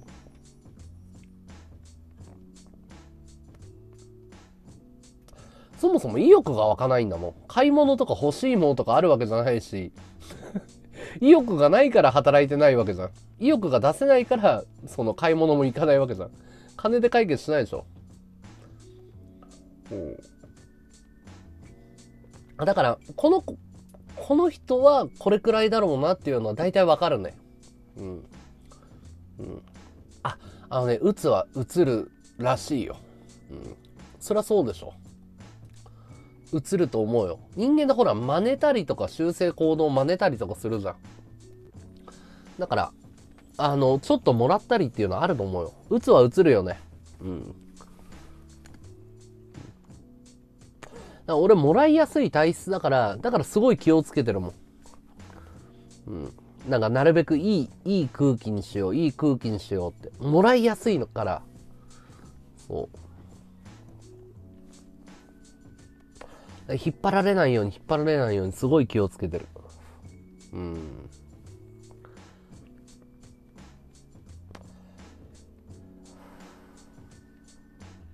俺ね、シャーマンってそういう存在だったんだと思うよ。いや、メンヘラだったんだと思うよ。多分。シャーマンとか。昔の。だからね、現代に必要なくなった人種のカテゴリーなんだと思う。昔は国生みとかさ、祈祷とかするとき必要だったんだと思うよ。ああ、まあ仲間を呼ぶっつうか、つるみの法則はあるだろうな。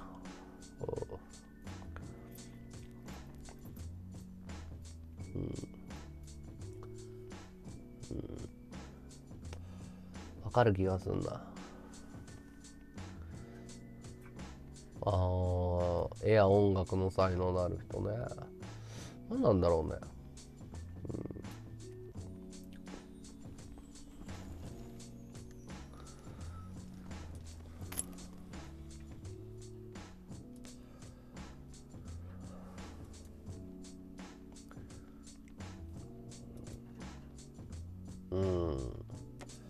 え、でもさ、俺、コッコのライブが泣けるとか、その、いうのはそういうことだと思うよ。コッコは、それを武器に変えてる人で、だから、その、ライブをやるたびにボロボロになるんだけど、世界観をさ、会場一体をその、なんつうの、コッコワールドに飲み込むわけじゃん。その、歌、本物の歌手とかそういう、ガーって来ない？えぐい世界っていうか。わかる？なんとなく。エモーショナルな世界っていうの。こう感情の渦みたいなのにぐーって引き込んでくるじゃん。歌で。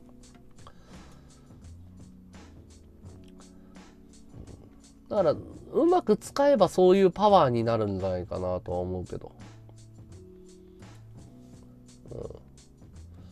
コッコ詐欺？そうかな？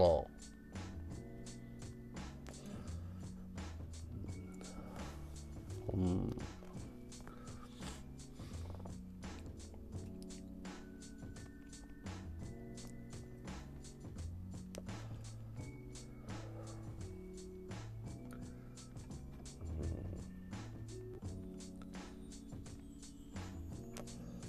コッコの世界観すごい好きだけどね。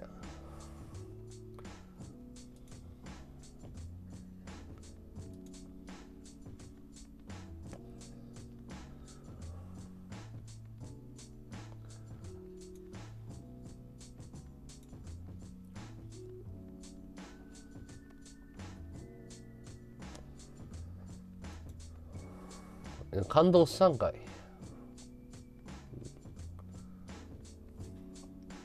あまあピョークとかそうだろうね。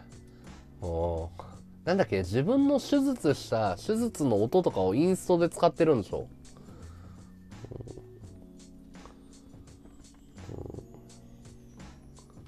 うめちゃめちゃ感動して世界観引き込まれてんじゃねえか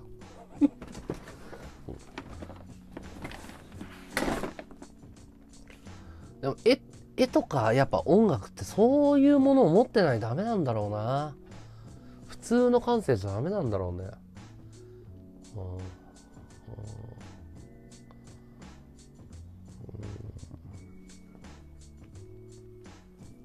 うん。世界の見え方が違うん。だよね多分ね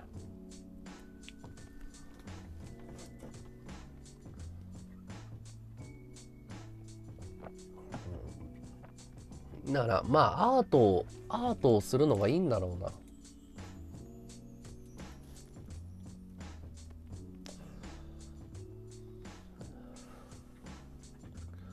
だから草間さんの水玉の話がすごい好きであの草間さんって水玉を描く模様が有名じゃないですか。でひたすら机とか壁とかにずっと描き続けるのよ。身の回りのもの全部に。コップとか。であれってアートだと思ってるけど違くて草間さんのインタビューの動画見たら見えてるんだって。で、見えてるけど、周りの人にいくら説明しても、見えないって言うから書いてるんだって。すごくない？あれは、自分が見えてるんだって。でも、いくら説明しても伝わらないから、なぞってるんだって。だから、あの草間さんの水玉の世界とかあるじゃん。あれが彼女が生きてる世界なんだってよ。うん。あ、まあまあ、そうでしょ。カオスの言ってるのは正解だと思うよ。ただ、その、そっち、要はダークサイドだよ。ダークフォースとかさ、あるじゃん。それに引きずられて、戻ってこれなくなる人がいるのよ。普通は戻るきっかけってあるんだよ。俺ね、それはね、なんか親の愛情とか友情とかだと思うよ。なんかね、自閉症の女の子が、知ってる？なんか、自閉症の女の子がクラスメートになんか誕生日パーティーみたいな招待状40枚出したら、なんかあなたのことが大嫌いっていう風に手紙を送られた話。だからそういうなんかこう、なんつうの、傷が厄介なんだと思う。もう子供の頃とかの。大切な人を失ったとかさ、その、取り返しのつかない心の傷とかを、その時直せればいいんだけど、言葉とか愛情とかで、仲直りとかで。岩崎千尋さんみたい。あ、わかんねえな、岩崎千尋さん。だから、なんつうんだろう。それを取り戻せない人がいるんだと思うんだよね。うん。その傷を。結構人間って繊細だからね。すぐ簡単に壊れちゃうから。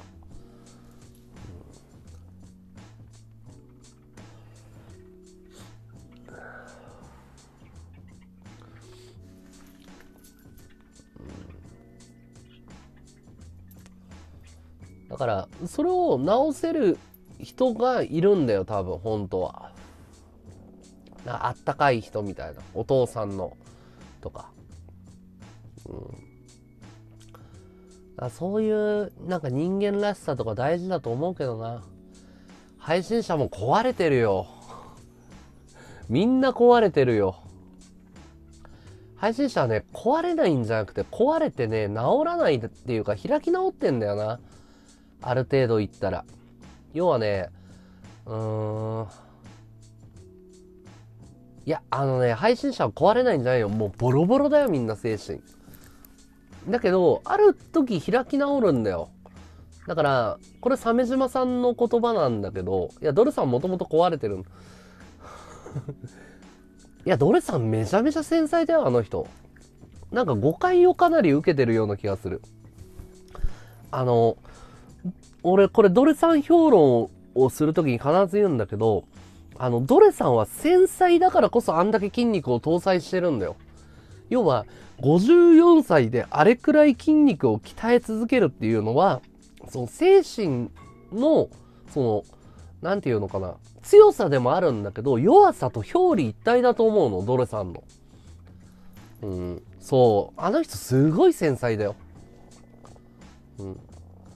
搭載っていうか、なんつうんだろう。もう筋肉を、鎧を、だってさ、多分どっかでやめるはずなんだよ。ある程度、その1週間に1回ジム行こうとかリフレッシュでってなるはずなんだよ。だけど追い求めてるわけでしょ。あれは、俺はだから装備に見えるの。その、自分を守るつか、その、この筋肉がないと自分を守れないっていう精神的な部分ってあると思うんだよね。うん。いや、その自分も好きなわけだし、その自分を誇りに思ってて、俺はいいと思うの。なんかコンプレックスの克服なんだと思うの、俺は。ドレさんのあの、格闘技とかって。多分だよ。もちろんその逆から言えば精神の強さであったりとかなんだけど、そうそう、アイデンティティというか、脅迫観念部分なところあると思うよ、俺少し。うん。うん。そう。まあだからメンヘラの子って繊細っつうか優しい子が多いよね。いや、図太さがないんだよ。うん。うん。ね、俺ね、あの、ドレさんを見てて、今日ドレさん放送しなかったでしょ、多分。やってない？俺ね、多分ね、昨日ね、結構ショックを受けてるんだと思うんだよね。結構。要はお父さんのことの、要は香典、香典のことに関して。いや、臆病、臆病っていうかね、ドルさん繊細だよ、すごく。で、多分ね、すごく傷つきやすい人なんだよ。うん。だから、あのね、何回もその怒鳴るの。ドルさんが怒鳴る時って特徴があるんだけど、すごく後悔するの、あの人。怒鳴ったこと。だから次の日必ず謝るの。どんな小さいことでも。ワドごめんなって昨日って。気分悪くしてないか？って。そう。絶対、その、なんつうの、メールなりなんなりって。だからね、すごく繊細な人だなって思うよ。うん。昨日裏でやってて見てないけど、なんか切れて、あのね、昨日要はお父さんがお亡くなりになったって言って、お父さん、ふんって笑っちゃってごめんね。そや、お父さんがお亡くなりになられたの。で、俺も裏で配信やってたから知ら、見てないんだけど、要は、ドレさんが、あの、おこ、ね、あ、お、なんつうんだっけ、お香典？あの、要は、その、お葬式の、あれを花火くれって言って、言ったとか言ってないとかで、なんだかこう、リスナーが、はぁみたいになって、まあ、俺もそれはないよねっていう話をして、で、切れて配信切ったっていう流れ。で、軽く炎上したみたいな。要はその人の親の死までネタにするのかよって言って、ドレさんはブチ切れたっていう話なんだけど。うん。そうそうそうそう。あー、ありがとう。ジオンさんありがとね。うん。あのね、俺正直言う。あのね、はっきり言うね。ドレさんはブロックした方がいい。あのね、ドレさんはブロックしないとダメな配信者の。要は多分ね、チャンマンスタイルを取り入れようと思ったんだけど、あれこそ病気なのよ。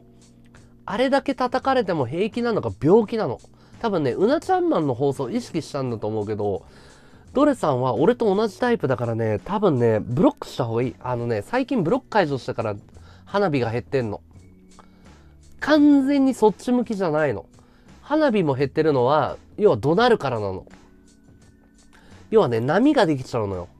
あの、ドレさんの放送を普通のファンの人はアベレージを期待してるの。うん。だからね、ドレさんはね、俺ね、ブロックした方がいいなって思ってた。うん。で、正直、ブロック入れなかったら面白いんだよ。あの、怒鳴るから。怒ったり泣いたりするから。でもそれを面白いと思う層。ドレさんが泣いたり、怒ったり怒鳴ったりとかを面白いと思う層は花火投げないよ。でしょ？閲覧は伸びる。コメントは走る。でも、3万見てみなよ。あんだけ閲覧あって、あんだけレジェンドで、あんだけコメント走って花火上がんないじゃん。答えなんだよ。うん、そうドレさんはそのスタイルじゃないって思ってんだよね俺は多分ね3万を意識したんだと思うの次のステージ行くためにタイプが違うと思ってんだよねうんまあでもねドレさんがまああの人は自分で気づくでしょうドレさんにアイテムをくれる人はドレさんに何を期待してるかってことだよね。カオスがね、花火上がんないのはね、あの、薬の話しすぎ。俺、カオスの放送、よく作業枠で、ここで作業してる時に、パってカオスの放送流してると、この人は、のんちゃんがね、この人は薬の話しかしてないねって。悪いやつだって言ってた。のんちゃんは。カオスさんは、薬の話しかしてない。悪い子だって言ってた。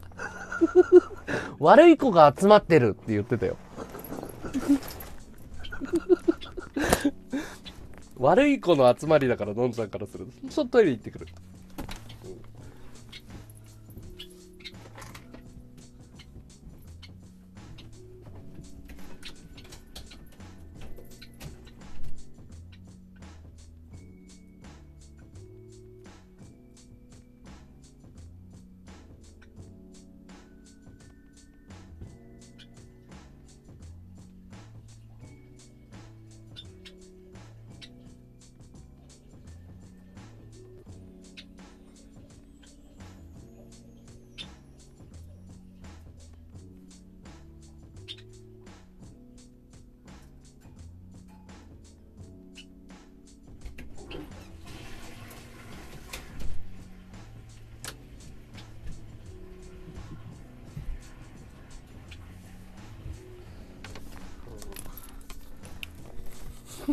らない薬草かどうか。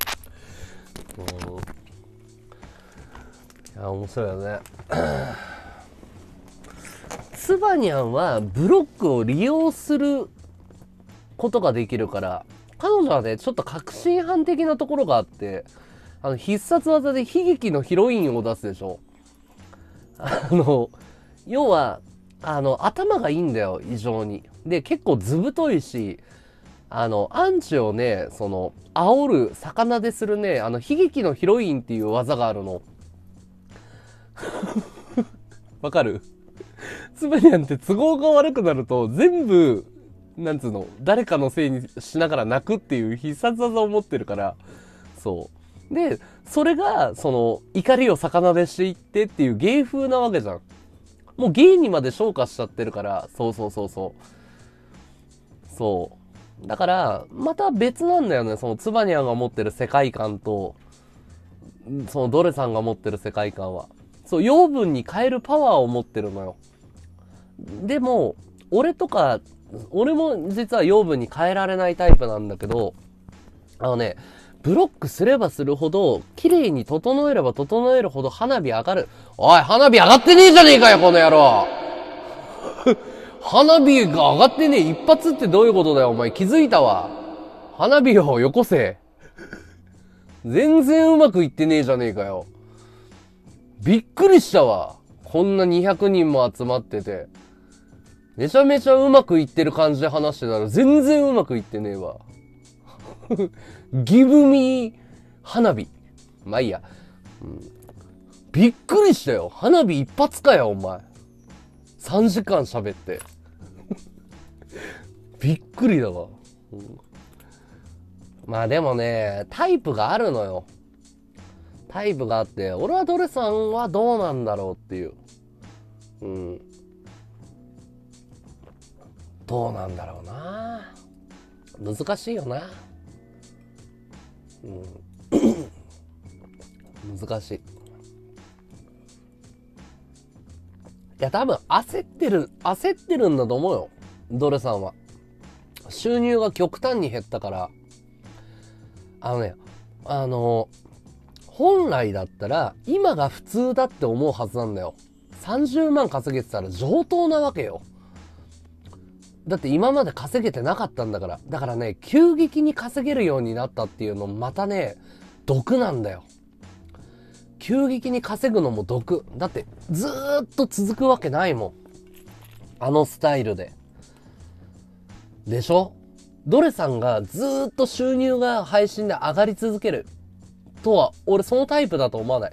ただ、30万とかをずっとキープすることは可能だと思ってんの。ドレさんは。だからね、急激に下がった歪みなんだと思うんだよね。焦りだと思うんだよね。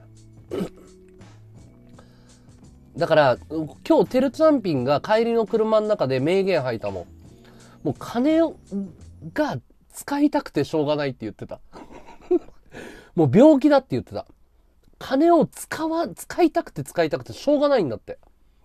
だから本当にうん百万、だって家引っ越して2日目とかでしょ？160万使ってんだよ。160万。で、シュマジローが笑ってたもん。高い方と安い方が2つあったら、テルは迷ったら普通安い方買うじゃん。どっちにしようかなって。テルはもう高い方を買おうって決めてるんだって。って笑ってたよ。うん。俺はここ最近で言うなら、落ち目ではないけれども、明らかに流れ変わったのはブロック解除からだね。うん。ブロック解除からちょっと、なんかこう、なんつうんだろう。おかしくなったかなっていう。いや、何それでしょとりあえず高い方買うっていう。迷ったら。うん。で、本人もわかんねえって言ってたね。分析してなかったね。なんで俺こんなにもらってるんだろうみたいな。で、もう言ってるんだって。花火あげないでもいいよって。もう、もう無理すんなって逆に言ってんだって。で、言えば言うほど花火もらえるんだって。意味わかんないでしょ。意味わからんって言ってたもん。もう、いええやでって。あんま無理す、すすんなって言っても上がるんだって。もうね、止まらないんだって。すごいよね。あもう、だからなんか持ってるんでしょ爆裂的な運を。強烈なのを。だからもう、テルを守ろうみたいな。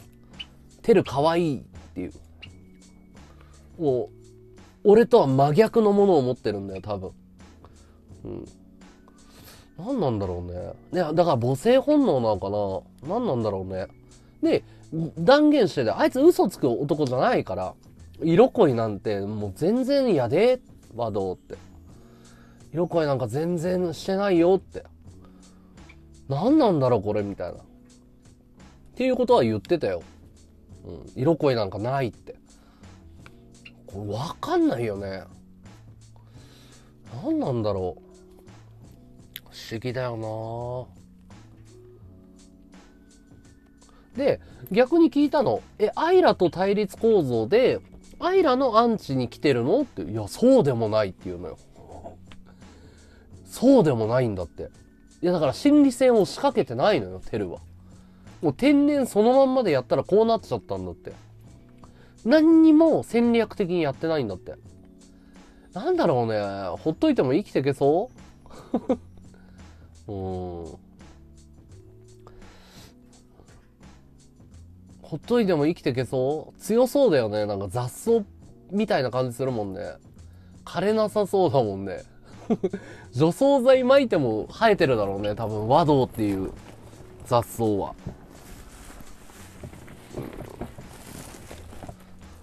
すごいよね。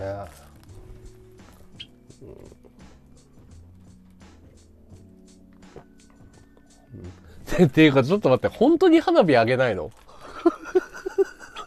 ちょっと待って、さっきの、ちょっと3分前に戻るんだけど、ちょっと待って、ちょっと待って、あれだけ花火投げるお膳立てしたのに、本当に今回あげないの？嘘でしょ ?230 人見てて、あれだけ強烈なふりして、藁で終わりなの？お前ら。お前らも太いな。お前ら藁じゃなくて。えー、遠居さんいらっしゃい。よろしくお願いします。もしよかったらフォローしてってください。よろしくお願いします。ツイッターもフォローしてください。何お前、制服の女の子に花火あげても、何にもないぞ。風船ありがとうございます。あ、初見さん風船ありがとうございます。はい。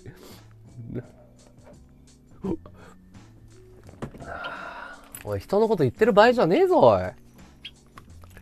うん。いや、笑うよね、ほんとね。もう諦めるわ、いいや。もういいや。15分いいよ。好きなこと喋ろう。もういい。ごま、ごまさんありがとうございます。うん。ありがとう。風船ありがとう。いえ、もう風船、風船、風船がいい。うん。うん。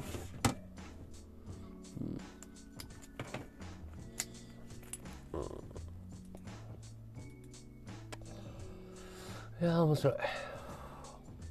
いやちょっとねちょっと悲しくなるよね。いやもうねほんとねほんとね違うんだよ。面白い話をして楽しいねってバカありがとうカオス助かるよ。ありがとう本当に。気持ちが嬉しいよ。ありがとう。あのね配信って面白いのがね楽しい。リスナーさんも集まった。俺ら友達だよね。仲間だよねって。あ、金ねえわ。ってなった時、あ、知らん知らん、知らん、知らんって急になんの？いや、それは知らんわ、っつって。全然知らん知らん ってなんのよ。ただもう、なんかもう、な、全然面白くねえな、今日。もう、もう、もう、全然面白くねえわっていう時に、ボーンって上がったりすんの。もうね、わかんない。ふわっちはわからない、俺。うん。ふわっちはわからない、本当に。うんいやだから本当に閲覧関係ないよ。もう本当に。閲覧とかじゃないの。うん。いや、どうもどうも。はい。どうもです。うん。うん。いや、あのね、本当に上がるタイミングの法則性わからない。もうね、何なんだろう、これは。あ、肌ありがとうございます。あの、何なんだろう。花火が上がるって何なんだろうね。もう、運だよ。ただの。もう結論。1年間このペースでずっとやってきたけど、運。ただの。あ、4時間やって赤食らうのはきついな、ちょっとな。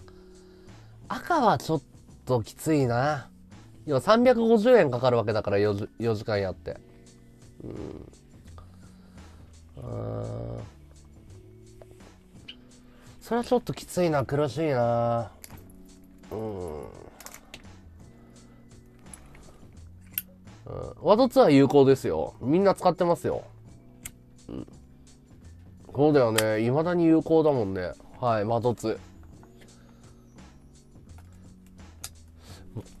あからさまにこじらないとダメなんじゃねって、あからさまに花火くれっつってもくれないんだよ。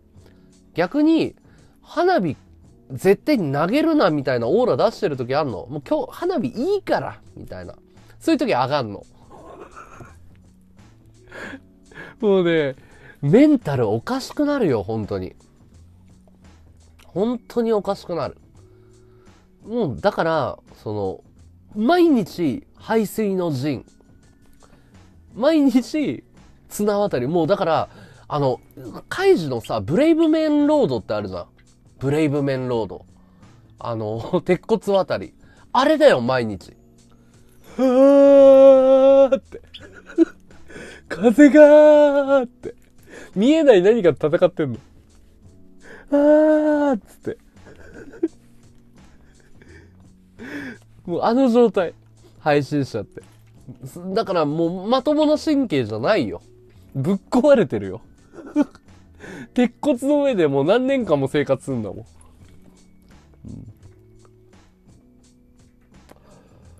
うん、ステッカー売ってますよ、今。はい。500円でこのステッカー売ってるんで、もしよかったら、あの、買ってください。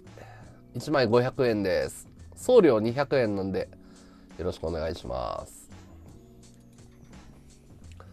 うん。ねっちょり頼まないと、さらっと爽やかなんだわ。あー、だから演技だろうな、多分な。うーん。なんだろう、爽やかにこじる。爽やかっつうかさっぱりしてんだろうな。花火くれって言っちゃうかな。もっとなんか遠回しに言った方がいいのか。あー。今日てるちゃんピンの家行くのにタクシー代めっちゃかかったわーとかね。下手だな 臭いな、なんか。うん。いや、片道210円と、駅までの交通費、大変だったなーって。いやらしさってなんだろう？どうやって出すんだろう？いや、金くれよ、金。うん。なんだろうね、余裕全然ないのに。なんで余裕感出ちゃってるんだろうな。うん、余裕ない感じを出していかないといけないのかもっと。余裕ない感じで。助けなきゃ。母性本能くすぐっていかないといけないんだ、うん、切実さ？何それ？わかんない切実さなんてあんのかな？うん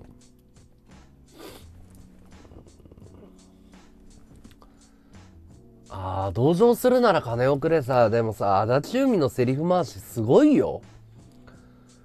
あのー、なんかすごいの。ちっちゃいちんちくりんの女の子が、なんだお前は、カネゴンじゃないかみたいなセリフ回しがあんのよ。その、ブワーって節回しみたいな、節、ブワーってやって同情するなら金をくれなんだけど、あれ今見てもすごいよ、演技。うん。金のためなら何だってするのかよみたいな。すごいよ。あれ見た方がいいよ、もう一回。うん、配信がすごい好き。配信大好き。多分配信会で配信のこと一番好きなのは俺だと思うよ。大好きっすね。配信が好きっていうか、喋るのが好きなんだよね。楽しいみんなと楽しく話してんのは、すげえ好きだよ。大好き配信は、うん。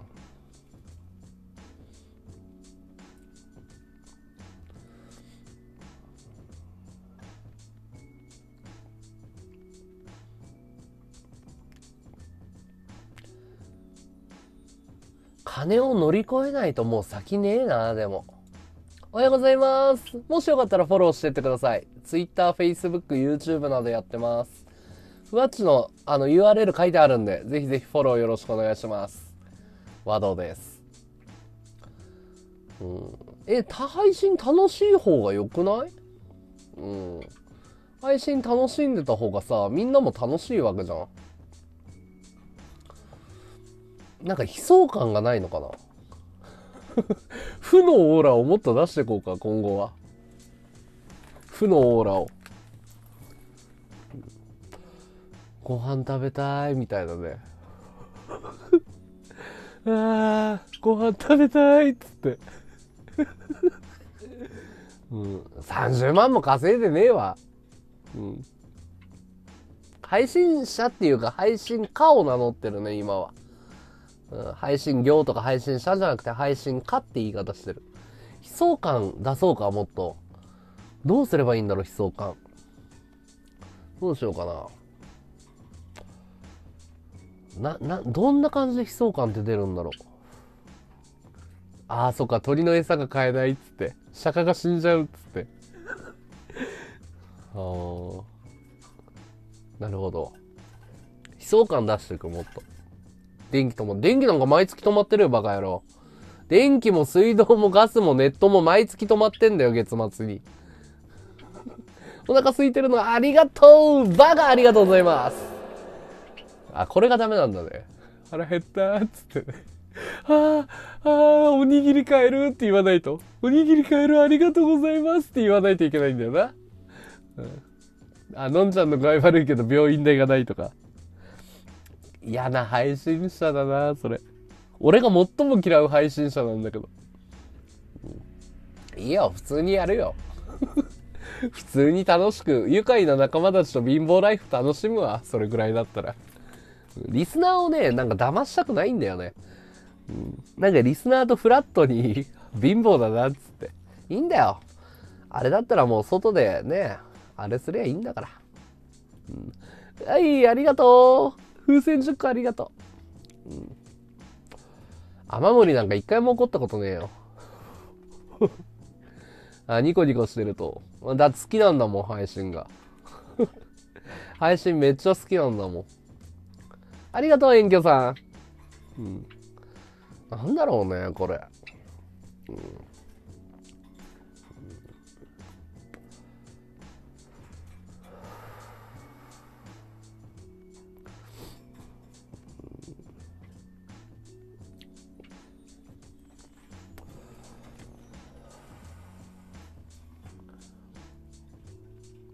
いや、本当だよね。バッグがなくなったとか、財布盗まれたとか。チェーンでも繋いでおけって話だよね。鎖で財布繋いでおけよって思うもん。お前1年間で何回財布なくすんだよっていうね。それは俺も思う。すごい、すごいタフだなって。それはリスナーの問題じゃなくてお前の問題だろっていうね。すごいよな。それでもリスナー花火投げるからな。タフだよな。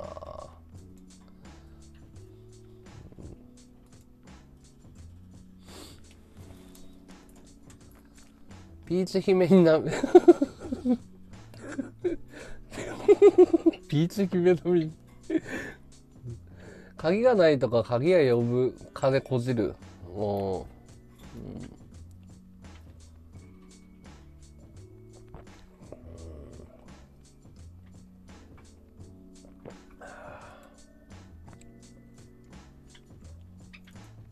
うん。いやずぶとくねえと配信はできないな、うん。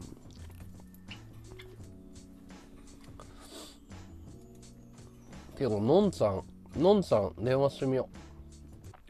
のんちゃん、今日家に来んのかな？のんちゃんに電話します。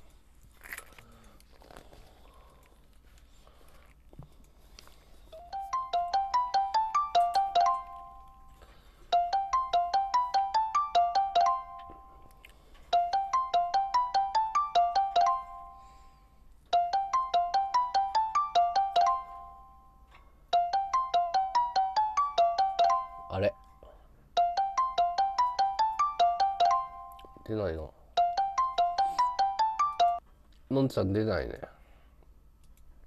うん。よいしょ。寝てんのかな？リスナーも信じてないけど金欲しいんだなって。いや、俺金欲しくてこの世界入ってんだもん。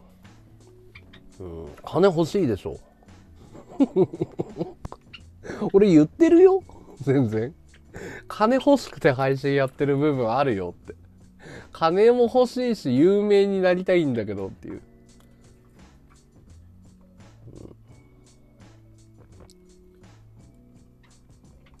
あ残り9分だ。ありがとうございました。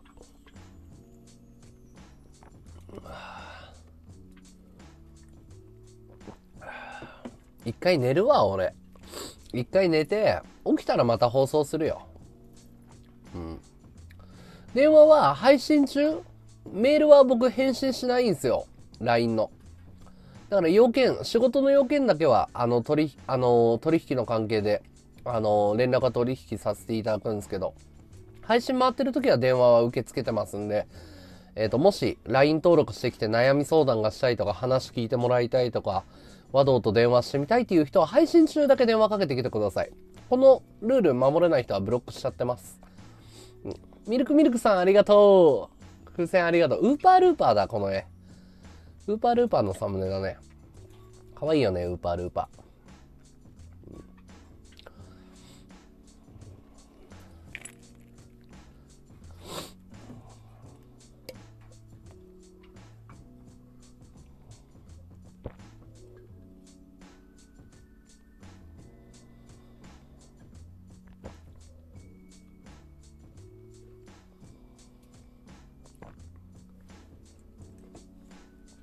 はいほ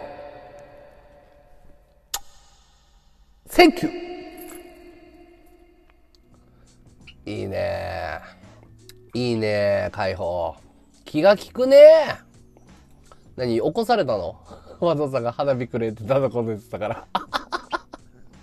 解放ありがとう。報われたぜ。報われたよ。4時間、4時間働いて、えっ、と、今ね、1000円稼げた。1200円稼げたから、時給300円だよ。ブラック企業でしょ ペリカの世界でしょ今現時点で俺3時間働いて、4時間働いて、時給、時給300円だよ。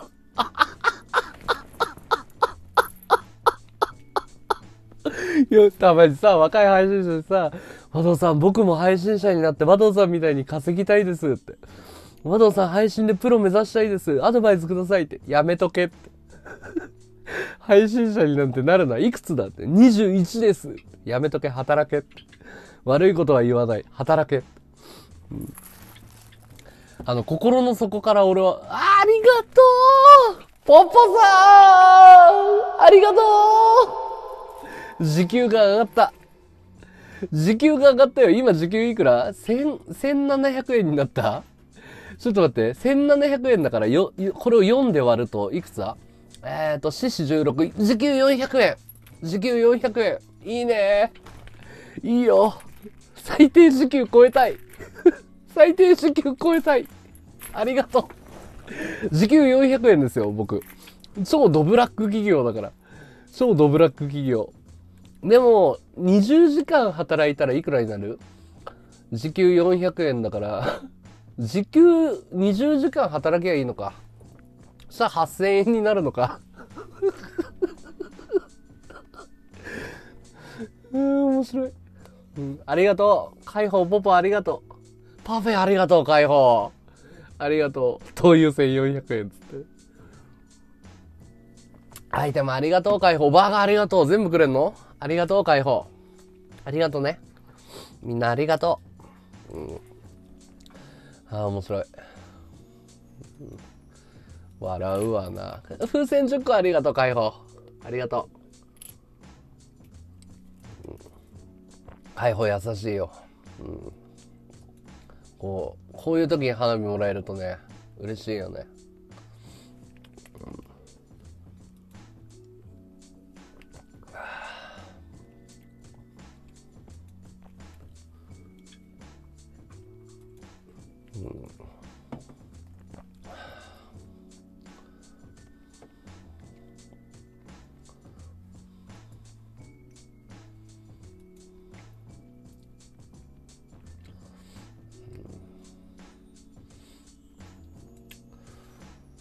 うん、ああ、そっか、捨て頃、捨て頃、捨て頃か。いや、本当にトレーニングしないとな。頑張んねえと。テレジャンピンの後だかんな。うん。うん。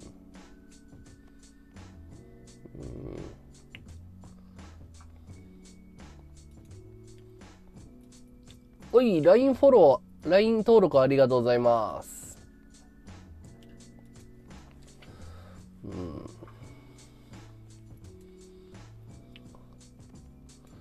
Twitter もフォローしてね。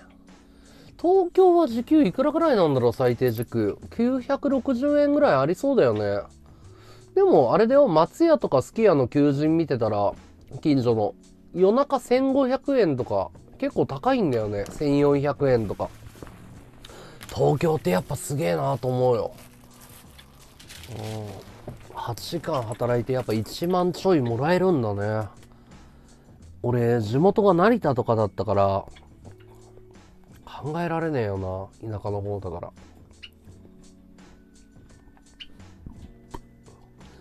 千葉県民からすると考えられない。破格の厚遇ですよ。破格。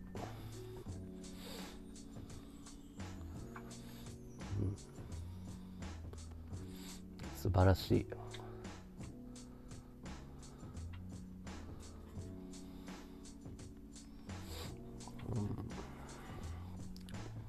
じゃあ僕はこの3分で終わりにしますよ。うん、寝ます。テレジャンピンのね、あの、家に行ってきて、結構時間経つ。ああ、ミルクミルクさんありがとうね。ハート2つありがとう。うん。また起きて、夜になんのかな最近昼間放送できてねえな。うん、夜放送やるよ。うん、ありがとう、野前犬さん。黒猫ヤマトそんな高いんすか？え、夜間2000円ももらえんの？すげえな。ミルクミルクさんありがとう。おつです、ごま、えっ、ー、と、ポケモンさんありがとうね。ごまアレジオン。ごまアレジオンさん。ごまアレジオンさんありがとう。ミルクミルクさんもありがとう。今後ともよろしくお願いします。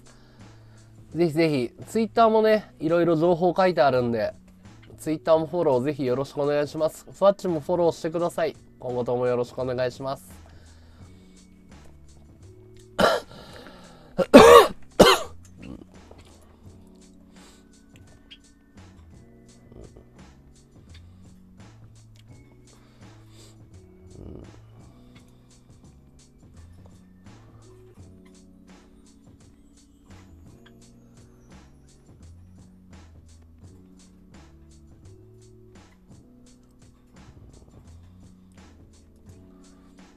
それじゃあ皆さんお疲れ様でした。ありがとうございました。おつです。